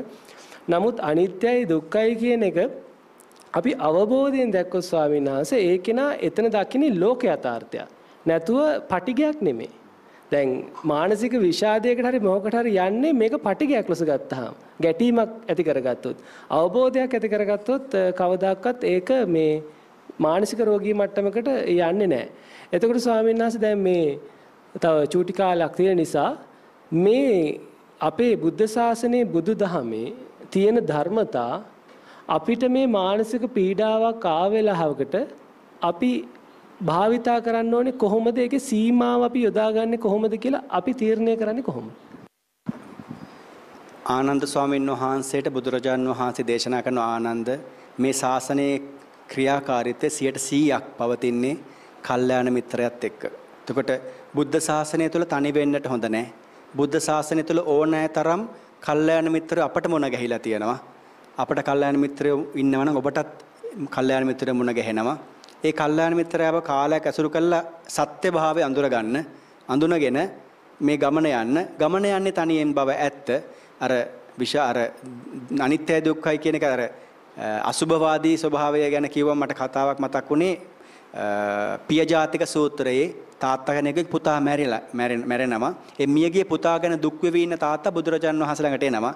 ආවම බුදුරජාන්සේ එතන ඍජුවම ප්‍රකාශයක් කරනවා කරුණු කාරණා දැනගෙන අපි ප්‍රිය කරන වස්තුන් නිසා අපට දුක ඇති වෙනවා කියලා. මේ මනුස්ස මේක අහගෙන එළියට ඇවිල්ලා වටපිටේ ඉන්න සූදු කෙලෙන කොල්ලන්ට කියනවා ආ එහෙම කිව්වා කියලා දොස් කියනවා. මුළු දඹදිව පුරාම මේ කතාව ආරංචියක් විදියට යනවා. ඉහිලා කොසල් රජුරන්ට එනවා. කොසල් රජුරටත් තේරෙන්නේ මේක ප්‍රිය වස්තුන් නිසා දුක ඇති වෙනවා කියලා මේ බුදුරජාණන් වහන්සේ කියලා මල්ලිකා දේවියට තේරෙනවා. මල්ලිකා දේවිය කිව්වා බුදුරජාණන් වහන්සේ එහෙම දෙයක් කිව්වා නම් පොඩ්ඩක් හොයලා බලන්න ඔයා. කිව්වම නාලි ජංගව යවනවා බ්‍රාහ්මණයව බුදුරජාණන් වහන්සේ ළඟට බුදුරජාණන් වහන්සේ හොඳට විස්තර කරලා යවනවා නාලි ජංගව. එයා ඇවිල්ලා මල්ලිකා දේවියට මේ විස්තරේ කිව්වම මල්ලිකා දේවි පැහැදිලි කරලා දෙනවා. ඔයාගේ දුවලා දෙන්නෙක් ඉන්නවනේ. ඒ දුවලා දෙන්න මිය ගියොත් ඔයාලට සතුටද දුකද? දුකයිනේ. ඒතකොට විජුඩබ එයා මිය ගියොත් ඔබට දුකයි සතුටද? දුකයිනේ. මම මිය ගියොත් ඔයාලට දුකයි සතුටයි. දුකයිනේ කියලා ඒත්තු ගන්නලා පැහැදිලි කළ දෙනවා. අපි කිසියම් දෙයක් පිළිබඳව ආශා කරනවා නම් ඒක දුකකට හේතුවක් වෙනවාමයි කියලා. ඒ ඒක හොඳ පැහැදිලි කාරණාවක්. අනිත් එක තමයි අසුබය මේ ධර්මය ඍණාත්මක නම් අසුබවාදී නම් ඔබට මරණානුස්සතිය වඩනකොට ඔබ සතියකින් මිය යනවා කියලා දැනගත්තොත් වෛද්‍යවරයෙක් කිව්වොත් මම කලිනුත් කිව්ව මේක සතියකින් මිය යනවා ස්ථිරවම කියලා කිව්වොත් එතනින් එහාට ඔබ කරන සියලුම කටයුතු ධනාත්මකයි. දන් දීම, සැමට ආදරෙන් කරුණාවෙන් සැලකීම, සියලු දේවල් පින්දහම් කිරීම මේ සියලු දේවල් ධනාත්මකයි මැරෙනවා කියන කියලා දැනගත්තා කියන්නේ ඔබ ධනාත්මක චින්තනයක් ඇති කරගත්තා කියන එක අසුබයි කියලා දැනගත්තා කියන්නේ ඔබ කිසියම් දවසක ප්‍රිය දේ නිසා වැටෙන දුර වැටෙන ගැඹුර අඩු කරගත්තා කියන එක වැටෙනව ඕන කෙනෙක් පෘථග්ජන ඕන කෙනෙක් වැටෙනවා ඒ වැටෙන ගැඹුර අඩු කරගත්තා කියන එක ඒ නිසා ධර්මය හොඳින් ඉගෙන ගන්න මේක න්‍යායාත්මකව කියන්නේ ත්‍රිපිටක ධර්මය හොඳින් පරිශීලනය කරන්න. එතකොට ස්වාමීන් වහන්සේ ඔය රහතන් වහන්සේලා පහළ වුණත් නැතත් ඒ පැත්තට දුවන්න ඕනේ නැහැ. මොකද රහතන් වහන්සේ කෙනෙකුට හැකියාව නැහැ අපට ගැළපෙන කමටහන දෙන්න. සාරිපුත ස්වාමීන් වහන්සේට බැරි වුණා නම්. එතකොට රහතන් වහන්සේනෙක් පහළ වුණාද? සාදු සාදු. හොඳයි. අපි යන්නේ ත්‍රිපිටකයත් එක්ක. බුදුරජාන් වහන්සේ තාම අපට ජීවමානයි. බුදුරජාන් වහන්සේ අප වෙනෙන් ඉතුරු කළ 13 වහන්සේලා සහ ත්‍රිපිටක ධර්මය මත යැපිලා ඉදිරියට යන්න ඒ තුල ඔබට කමඨහන් ඕන තරම් තියෙනවා හිත හදාගන්න. ඒ ගමන ඔබ ගියොත් එහෙම ඔබට වරදින්නේ නැහැ. ඔබ අධිගමයන් ලැබුවා කියන පිරිස පස්සේ දුවන්න ගියොත් ඔබට ලොකු වැරදීමක් වෙනවා. ඒක නිසා ප්‍රවේශමෙන් ඉදිරියට ගමන යන්න කියලා තමයි කියන්න තියෙන්නේ. ස්වාමීන් වහන්සේ හුදකලාව ගැන කියපු හින්දා මම දැන් මේ ප්‍රශ්නේ යොමු කරන්නේ. ස්වාමීන් වහන්සේ මේ ඇත්තටම නිවන පිණිස පවතින. එහෙම නැත්නම් මේ ධර්ම මාර්ගයේ පුරුදු කරන්න පවතින හුදකලාවයි වර්ධාගත් හුදකලාවයි අතර යම් වෙනසක් තියෙනවද? වර්ධවාගත් හුදකලාවයි. ඔව්. අර කලින්ම මතක් කළා මතකද ස්වාමීන් වහන්සේ ගෙදරත් එක්ක අමනාප වෙලා මෙහෙට එන්නේ. ඔව්. එහෙම එනවා පැවිදි වෙන්නත් සමහරු. බැලුවට පස්සේ නෝනත් එක්ක තරහ වෙලා, ගෙදරත් එක්ක තරහ වෙලා එහෙම. එතකොට ඒ හුදකලාව එච්චර සුදුසු නෑ. ඔබේ හුදකලාවට හේතුව තව කෙනෙක් පිළිබඳව දේශයක් නම් ඒක වර්ධවාගත්ත හුදකලාවක්. හුදකලා වෙන්නට පුළුවන් කෙනාට පුළුවන්කම තියෙන්නට ඕනේ මුළු ලෝකයටම මෛත්‍රී කරන්න. ඔබට එහෙම කිව්වම කියයි ඔබ මම හොඳට මෛත්‍රී කරන්නම් කියලා. ඔබ උත්සාහ කරලා බලන්න. ඔබ ළඟින්ම ඉන්න කෙනාට මෛත්‍රී කරන්න. එතකොට ඔබ කියයි පොඩ්ඩක් උත්සාහ කරලා බලන්නට ඕනේ කියලා. මොකද ළඟම ඉන්න gedara පිරිසත් එක්ක තමයි අපි ගැටෙන්නේ. දැන් අපි සේනාසනේ අපේ ස්වාමින් වහන්සේලා අපේ ස්වාමින් වහන්සේලාගේ ක්‍රියාකලාපයන් නිසා නෙමේද අපට හිතට ගැටීමක් ඇති වෙනවා නම් වෙන්නේ. ඒ අපි ළඟින් ඉන්න නිසා. ඒක අපි දන්නවා. එතකොට නිවසේ ඉන්න කෙනත් එක තමයි ඔබ ගැටෙන්නේ. ඒ එතන ගැටිලා එන හුදකලාව ව්‍යාජයි. ඔබට පුළුවන් නම් සමීපතම කෙනා සිට දුරස්ත කෙනා දක්වා මෛත්‍රී වඩන්න ඒ හුදකලාව සාර්ථකයි. ඔසාවිනාසි කීපකතේ වල පොඩි කතාවක් මතක් වුණා අතීතයේ තීච්ච කතාව.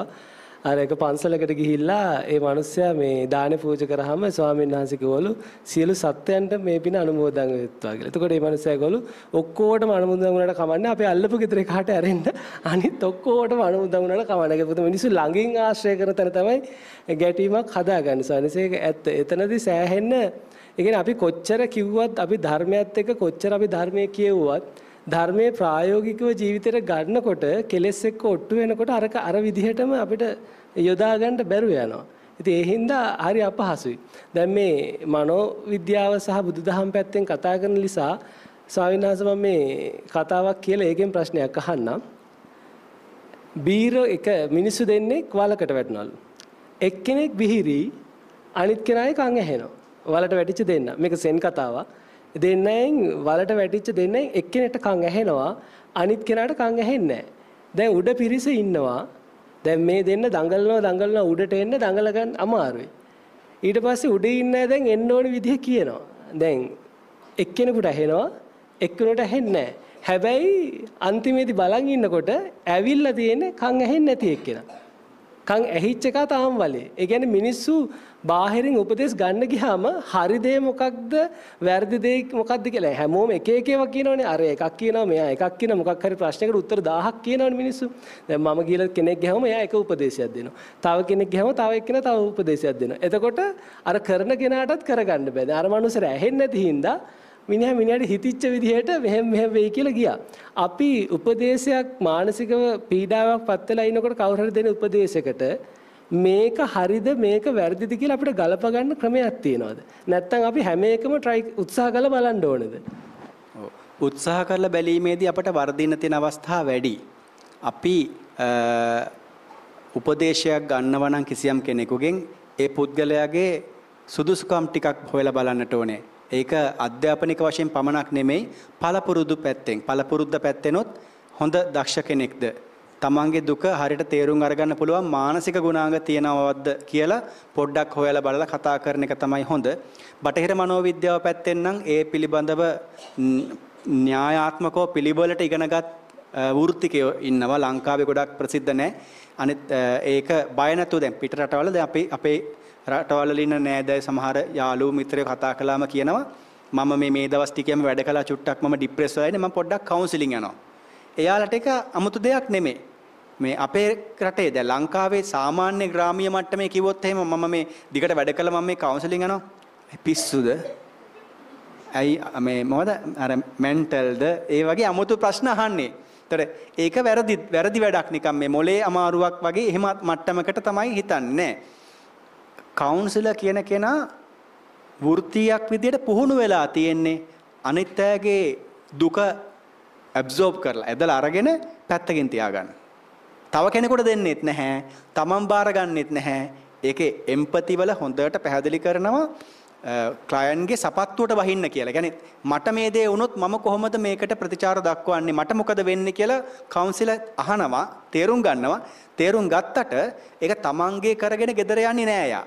එයාකට පුහුණු වෙලා තියෙන්නේ. අඩිය නැති කුණු බක්කියක් වගේ. අඩිය අඩිය නැති කුණු බක්කියක් වගේ. හරියට හරි. ඒතර ඒක දාන්න දාන්න නැති වෙලා යනවා. ඒතර අනුන්ගේ කුණු ඔක්කොම බාර ගන්න අඩිය නැති කුණු බක්කියක් තමයි කවුන්සිලර් කියන්නේ. ඔබේ කුණු ඔබ ගාව තියෙනකොට ඒක පල් වෙනවා. පල්ලුනොත් වැඩේ භයානකයි. ඊට කලින් ඔබ කතා කරන්නට ඕනේ සුදුසු කෙනෙක් හොයාගෙන මගේ කතාව අහන. එතකොට එනවා අපිට බුදු බුද්ධ දේශනාව තුලක් තියෙනවා මේක මනෝවිද්‍යාවෙත් තියෙනවා බටහිර ඇහුම්කන් දීමේ කුසලතාවය. අපි හැමෝම කැමති අපි දන්න දේ කියන්න. කියනවා කියනවා මම අරක කරලා තිනවා මේක කරලා තිනවා. ඇහුම්කන් දීමේ හැකියාව හරි අඩුයි. තවත් කෙනෙකුගේ ප්‍රකාශයකට සාවධානව ඇක්ටිව් ලිසනින් තව කෙනෙක් සක්‍රියව ඇහුම්කන් දීමේ හැකියාව තියෙන කෙනෙක් තමයි අපි ඒ තෝරා ගන්න කෙනා. එතකොට එයාට පුළුවන් අපේ දුක කතා කරලා 140ක් 50ක් විතර අපේ ප්‍රකාශ කිරීමෙන්ම අපි නිවෙනවා. ඊටු ටිකට එයා උපදේශක කියන්නේ උපදේශ දෙන කෙනෙක් නෙමෙයි. කවදාවත් එයා සොලියුෂන්ස් විසඳුම් දෙන්නේ නැහැ. ඔබට උපකාර කරනවා විතරයි. ඔබේ මානසික ශක්තියෙන් ඔබ නැගිටිනවා නැගිටින්නේ එයා ඒ උපදේශකයේ උපකාරය ඇතුව. ඒක තමයි ස්වභාවය. ඔව් දැන් අර අත්දැකීම් කිව්වම අත්දැකීම් කියන්නේ වයස නෙමෙයි නේද? මොකද මෝඩියොත් වයසට යනවා. ඒ කියන්නේ වයස නෙමෙයි අත්දැකීම කියන්නේ ඒ ඒ කාරණා පිළිබඳ එයාගේ තියෙන අත්දැකීම. ඒ සමහර කෙනෙක් වයසක කෙනෙක්ගෙන් උපදෙස් ගන්න ගියට සමහරට කිසිම එයාට අදහසක් අවබෝධයක් නැති වෙන්න පුළුවන්. වයස විතරයි. එතකොට තවත් අමාරු වෙනවා. නමුත් අර සමහරට තරුණ කෙනෙක් වෙන්න පුළුවන්. නමුත් බුද්ධියක් තියෙන මට්ටමක කෙනෙක්.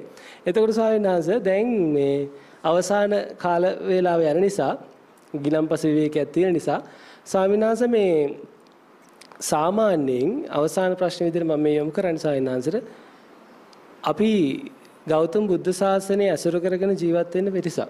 එතකොට ගොඩාක් වෙලාවට අපිට මේ බුද්ධ ශාසනය ඇතුලේ මිනිස්සුන්ට තියෙන එක ඉලක්කයක් විතරයි නිවන. නමුත් වර්තමාන මොහොතේ ජීවත් වෙන්න තියෙන නොහැකියාව මත අපි ගොඩාක් පීඩා විඳිනවා. ඒ කියන්නේ භෞතිකව විතරක් නෙමෙයි මානසිකව. භෞතිකව නම් සමහර සමහර විදිහේ නමුත් මානසිකව ලොකු පීඩාවක් විඳින අවස්ථා තියෙනවා. එතකොට ස්වාමීන් වහන්සේ මේ කෙනේ මේ වර්තමානයේ ජීවත් වෙනවා කියන එක මානසිකව ස්ථාවර භාවයක් ඇති කරගන්න ලොකු හේතුවක් කියලා මටත් හිතෙනවා. එහෙම කෙනෙක් කුමක් පදනම් කරගෙන මොන විදිහේ සාධනීය ක්‍රමයකින්ද මේ මොහොත තුළ ජීවත් වීම කියන එකට වටිනාකමක් දීලා එන්න ඕනේ. කියන්නේ සතියේ කොයි විදිහට පවත්වා ගන්න ඕනේ මේ මොහොතට. අපට මේ මොහොත තුළ ඉඳීමට හොඳම ක්‍රමය තමයි සක්‍රීයව භාවනාවක සමත භාවනාවක ඉන්න එක. එතකොට ආනාපාන සතිය කියන්නේ මේ මොහොත. මෛත්‍රිය කියන්නේ මේ මොහොත. මේ මොහොත තුළ ඊතා පැහැදිලිවම දීර්ඝ කාලයක් රැඳලා ඉඳීමේ ක්‍රමය භාවනාව. එතනින් එහාට එදිනදා ජීවිතය තුළ අපට මේ මොහොත තුල සිටීමට තියෙන එක මම දකින මගේ මම පෞද්ගලිකව දකින ක්‍රමයක් තමයි තෘප්තිමත් භාවය. මම දැන් ගමනක් ආව ජීවිතේ මම ඒ පිළිබඳව ලොකු සතුටක් තියෙනවා. ඒ සතුට තුළ මම සැනසෙනවා. එතනින් එහාට මම යන ගමන මට ලොකු ආයාසයක් නැහැ. ලොකු බරක් නැහැ. ඒ බර අතහැරලා සැහැල්ලු වෙන්න වගකීම් වලින් නිදහස් වෙවි නිදහස් වෙවි සැහැල්ලු වෙන්නට කිසියම් කෙනෙකුට හැකියාව තියෙනවා නම් දැන් සාමා ශිෂ්‍යත්වයේ කරන කාං දුවනවා ළමයි. ඊට පස්සේ O level කියලා එකක් එනවා. ඒක O level කරනකොට අපිට හිතෙනවා මේක පාස් වුණා තමයි අපේ ජය කියලා. නෑ අපිට තව එකක් තියෙනවා. ඒකෙන් පස්සෙත් ආපහු දුවනවා.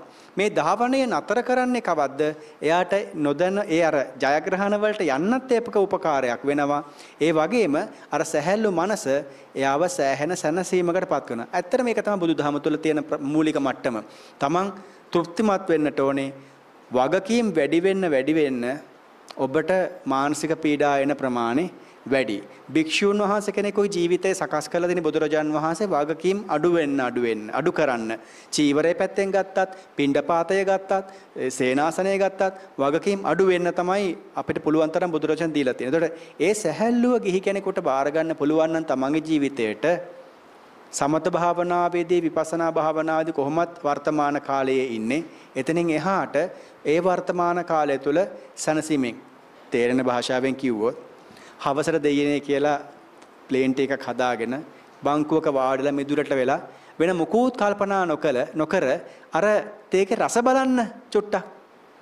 මේකේ කහට රස මොන වගේද කියලාවත් බලන්න පොඩ්ඩක් නිදහසක් තියෙනවද? අන්න ඒක හදාගන්න පුළුවන් නම් ලොකු හිතේ කහට නැතුව කහට එකේ රස බලන්න. හිතේ කහට නැතුව කහටක් බලන්න පුළුවන් නම් ඔබ කෑමට ගන්න ආහාර වේලේ රස බලන්න අඩුතරමේ. රස මොන වගේද කියලා මේකේ මේ මේ කොළ එලවලු තියෙනවට මේ මේ රසයි මස් මාළු තියෙන මේ රසයි බත් ටික මේ රසයි කියලා කවුරු හරි පටන් ගත්ත වෙලේ ඉඳන් ඉවරනකම් රසවත් බලලා තියෙනවද? එතනත් වර්තමානයේනේ තියෙන්නේ. දැන් මෙතන මාධ්‍යයත් යන වුණාට අපි බුදුරජාන් වහන්සේ දේශනා කළ ක්‍රමය නිසා මම කියන්නම්. මල පහ පිට කරන වෙලාව බලන්න. ඔබ ඔබ දවස් සැලසුම් කරන්නේත් ඒ වෙලාවටනේ. හැබැයි අර ඊයේ රෑ ඊයේ දවල් ඉඳලා වළඳලා දිරවාපු මේ අපද්‍රව්‍ය ටිකක් ශරීරයෙන් පිට වෙලාවට මොනතරම් සැහැල්ලුවක් කායට දැනෙනවද? ඒ ඒ සැපය ඒ සැහැල්ලුව ඇයි අපි කායික වශයෙන් වේදනනුපසනාවෙන් බලන්න බැරි? එතන ලොකු සැනසීමක් තියෙනවනේ. අන්න ඒ වගේ සරල තැනකින් පටන් ගන්න. මේ මොහොතේ ඉන්න පුළුවන් තවත් ගොඩාක් කමටහන්නේ තියෙන්නේ. බත් කිට් බත් කට කටට දාලා කී වාරයක් හපනවද කියලා බලන්න කියලා මම මෙයාලට කලින් දවසකත් කිව්වා. 15ක් 20ක් විතර හපනවා. ඒක බලන්න. ඔවර සාමාන්‍ය විවහාරය කියනනේ උදේට කනකොට දවල් කන එක ගැන කල්පනා කරනවා. දවල්ට කනකොට රෑ කන එක ගැන කල්පනා කරනවා. ආයෙ රෑට කනකොට හෙට උදේ කන එක කලකන මේ වෙලාවේ කාලා නැහැ කවුරුවත්. එහෙම තත්ත්වයක් තමයි තියෙන්නේ. ඒක සාමාන්‍ය තියෙන ක්‍රමයක්. ස්වාමීන් වහන්සේ මේ ස්වාමීන් වහන්සේ අවසන් වශයෙන් මොකක් හරි මේ පිරිසට මානසිකව සහ බුදුදහම සහ මනෝවිද්‍යාත්මක අතර යම්කිසි සංසන්දානාත්මක ප්‍රකාශයක් කරන්න තියෙනවා නම් ඒකට කාලය ස්වාමීන් බටහිර මනෝවිද්‍යාව මෑතකදී බිහිවෙච්ච විද්‍යාවක්. බුදුරජාන් වහන්සේගේ විද්‍යාව 2500 ගානකට කලින් මේ ලෝකේ පහළ වෙච්ච ධර්මයක්. බටහිර මනෝවිද්‍යාව තුළ නිරෝගීයයි කියන මට්ටම කිසියම් මොහතක රෝගී වීමේ හැකියාවෙන් යුක්තයි. බුද්ධ විද්‍යාවට අනුව නිරෝගී කියන මට්ටම මේ ජීවිතයේ සංසාරේනුත් රෝගී භාවයෙන් සහ මුලින්ම නිදහස් වෙච්ච ස්වභාවයක්. ඒ නිසා සම්මා සම්බුදුරජාන් වහන්සේ කියන්නේ මනස පිළිබඳව තාමත් විද්‍යාවට හොයාගන්න බැරි වෙච්ච මට්ටමේ උසස් අන්දමින් විග්‍රහ කළ උතුමන් වහන්සේ චිත්ත වීතිය දක්වා සිත දක්වා සිතේ හටගන්න චෛතසිකය දක්වා කුඩා කොටස් සියුම්ව විස්තර කළ සම්මා සම්බුදුරජාන් වහන්සේ මට මේ ලෝකේ පහළ වෙච්ච මනෝවිද්‍යාවේ පියා. ඒක ඉතින් තර්කයක් නෑ ස්වාමීන් වහන්සේ. ඉතින් ඒක කිසිම ගැටලුවක් නැහැ. ඉතින් මම හිතන්නේ පිරිසට වටිනා ධර්ම සාකච්ඡාවක් සිද්ධ වෙන්නේ නැති කියලා කල්පනා කරනවා. පුංචි දෙයක් කියන්නට ඕනේ. මේ මානසික පීඩාව ගැන කතා කරන්න මුලින්ම කල්පනා කරන්න හේතුව ස්වාමීන් වහන්සේත් මමත් අපිට මේ සාමාන්‍ය ස්වාමීන් වහන්සේ සමාජයේ ප්‍රශ්නයක් තියෙනවා. තමන්ගේ තුල තියෙන දේ තමන්ටම යොදා ගන්න ක්‍රමේ දන්නේ නැහැ. එහෙම ප්‍රශ්නයක් තියෙනවා අපිට. ඒ කියන්නේ අර මම එක දවසකුත් භාවනා කරනකොට කෑම එක ගෙනලා දුන්නාම බඩගින්න තිබ්බත් කන්න ඕන විදිය දන්නේ නැහැ. කන්න ඕන විදිය දන්නේ නැති කම නිසා අසරණ වෙලා තියෙන කමක් තියෙන්නේ. බුදුදහමේ පිළිතුරු තියෙනවා. තමන්ගේ මනසේ තියෙන විඩාවට බුදුදහම ඇතුලේ පිළිතුරු තියෙනවා. ඒකට ක්‍රමවේද තියෙනවා. නමුත් මිනිස්යාට තියෙන ප්‍රශ්නේ තමයි ධර්මයේ ඇතුලෙන් ඒ ක්‍රමේ උසවල ගන්න බෑ.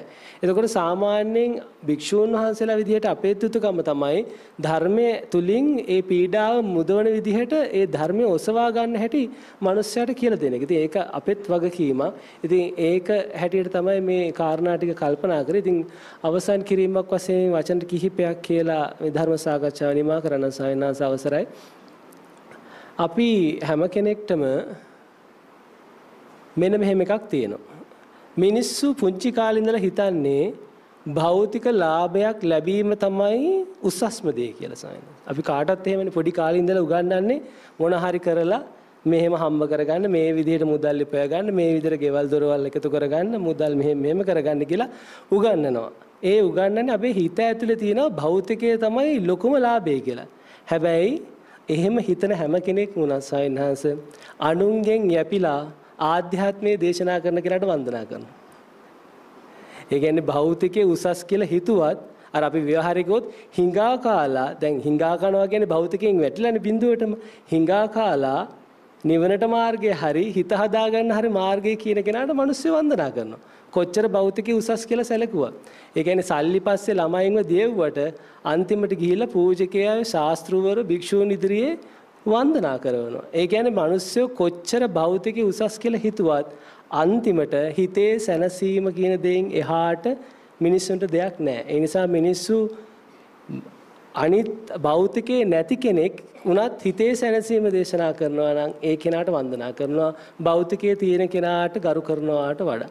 ඒකත් හිතේ තියාගෙන අපි තේරුම් ගමු මේ සම්බුද්ධ ශාසනය ඇතුලේ අපිට භෞතික දියුණුව කවදාකවත් බුදුරජාණන් වහන්සේ එපා කිව්වේ නැහැ. භෞතික දියුණුව අවශ්‍යයි.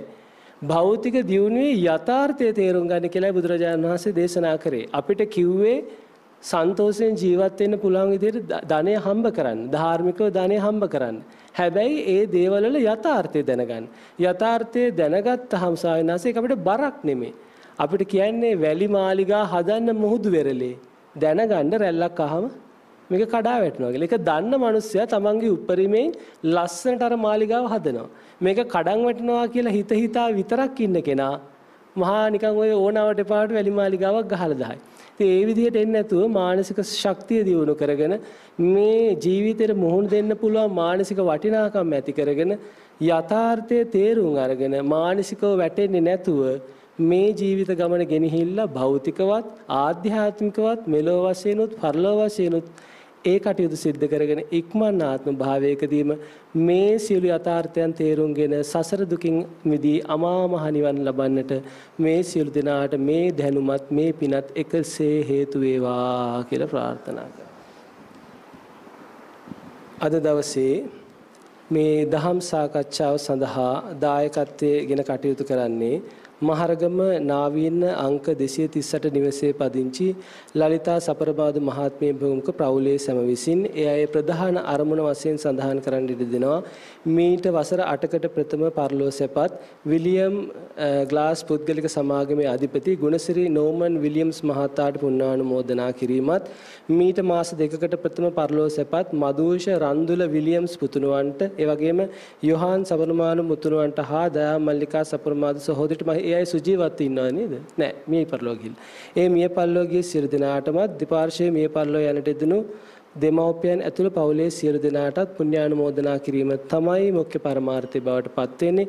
ඉතින් ඒ සපරමාදු මෑණියන්ගේ නමින් වර්ග පරම්පරාගත මිය පරලෝ යන්නට යෙදුණු ඒ සියලුම ඥාති මිත්‍රාදීන්ට නම් සඳහන් කරන්නට යෙදුන අයට නම් සඳහන් කරන්නට නොයෙදුණු යම් කෙනෙක් වේ නම් ඒ සියලු දෙනාටත් සංසාරගත මිය පරලෝ ගොස් පින් බලාපොරොත්තු යම් ඥාතිවරේ සිටිනම් ඒ සියලු දෙනාටත් මේ පින් අනුමෝදන් කරමු අනුමෝදන් වෙත්වා.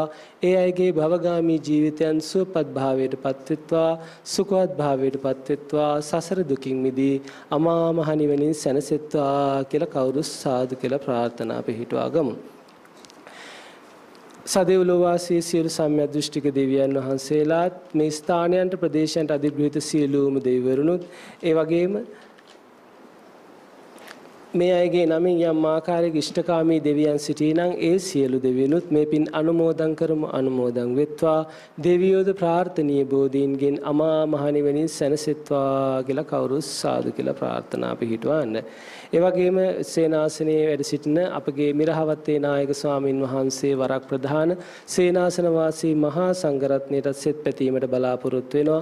පෙරවස් සමාදන් වෙන්නට යෙදුණු සියලු පින්නතුන්ටත් සෙත් ප්‍රාර්ථනා කරනවා. මේ පින්කම සඳහා සහ සම්බන්ධ වෙන්නට යෙදුණු සියලු දෙනාටත් සෙත් මිත් ප්‍රාර්ථනා කරන්නට බලාපොරොත්තු වෙනවා. ඉතින් මේ වෙලාවේ සපරමාදු මෑණියන් ඇතුළුව ඒ පවුලේ සුජීවත සිටින සෑම සියලු දෙනාටත් මේ සඳහා අනුග්‍රහ දායකත්වයේ දරන්නට යෙදුණු සියලුම දෙනාටත් පෙරවස් සමාදන් වෙලා ඉන්න සියලු පින්පෙනුතුන්ටත් මේ පින් අනුමෝදන් වෙත්වා. සියලු දෙනා ආයුෂයෙන් වර්ණයෙන් සැපයෙන් බලයෙන් ප්‍රඥාවෙන් වැඩේවා. ශ්‍රද්ධා සීල සුත ත්‍යාග ප්‍රඥා කියන සේක බල ධර්මයන් දියුණු කරගනිත්වා. ඉන්ද්‍රිය ධර්මයන් වඩාගෙන සත්‍තිස් බෝධිපාක්ෂික ධර්මයන් පූර්ණේ කරගෙන ඉක්මන් ආත්ම භාවයකදීම චතුරාර්ය සත්‍ය ධර්මාබෝධයෙන් නිවී සැනසෙන්නට මෙපින් හේතු වාසනාවන් බවට පත් කරගනිත්වා කියලා එතුමගේ ප්‍රාර්ථනාව සිහිපත් කරනවා. විශේෂයෙන් මේ අවස්ථාවේදී අපිට මේ ආකාරයට සම්පත්දායකත්වයේ දරන්නට යෙදුණු අපිට මේ විදිහට ධර්මයෙන් අනුශාසනා කරන්නට යෙදුණු අපගේ පින්වත් අකුරස්සේ ස්වාමින් වහන්සේට නිදුක් නිරෝගී සුවය පිණිසත් ඉක්මන් ධර්මාබෝධයෙන් සසර දුකින් නිවී අමා මහ නිවනින් සැනසීම පිණිසත් මෙපින් එකසේම හේතු වාසනා වේවා කියලා අපි ප්‍රාර්ථනා පිහිටුවා ගමු. මේ පින්වතුන්ට මේ දක්වා රැස් කරන්න දෙනු යම් කුසලයක් තිබේ නම් ඒ සියලු කුසල දම්බාරයන් උතුම් නිර්වාණය පිණිසම උපනිශ්‍රේ ධර්මයන් බවට එකසේම පත්වේවා කියන ආශිර්වාදයෙන් මහා සංඝරත්නය වෙනුවෙන් ආශිර්වාද කරනවා කවුරුත් වන්දනා කරගන්න. අභිවාදන සීලිස නිච්ඡං උද්ධාපචායිනෝ චත්තාරෝ ධම්මා වඩ්ඩන්ති ආයුවන්නෝ සුඛං බලං ආයුරාරෝග්‍ය සම්පatti සග්ග සම්පatti මේවච. අතෝ නිබ්බාන සම්පatti ඉමිනාතේ සමිජ්ජතු. සුවපත් වේවා නිදුක් වේවා නිරෝගී වේවා. දීර්ඝායුෂ සංසාර දුකින් ඇත සියලු දෙනාටම තෙරුවන් සරණයි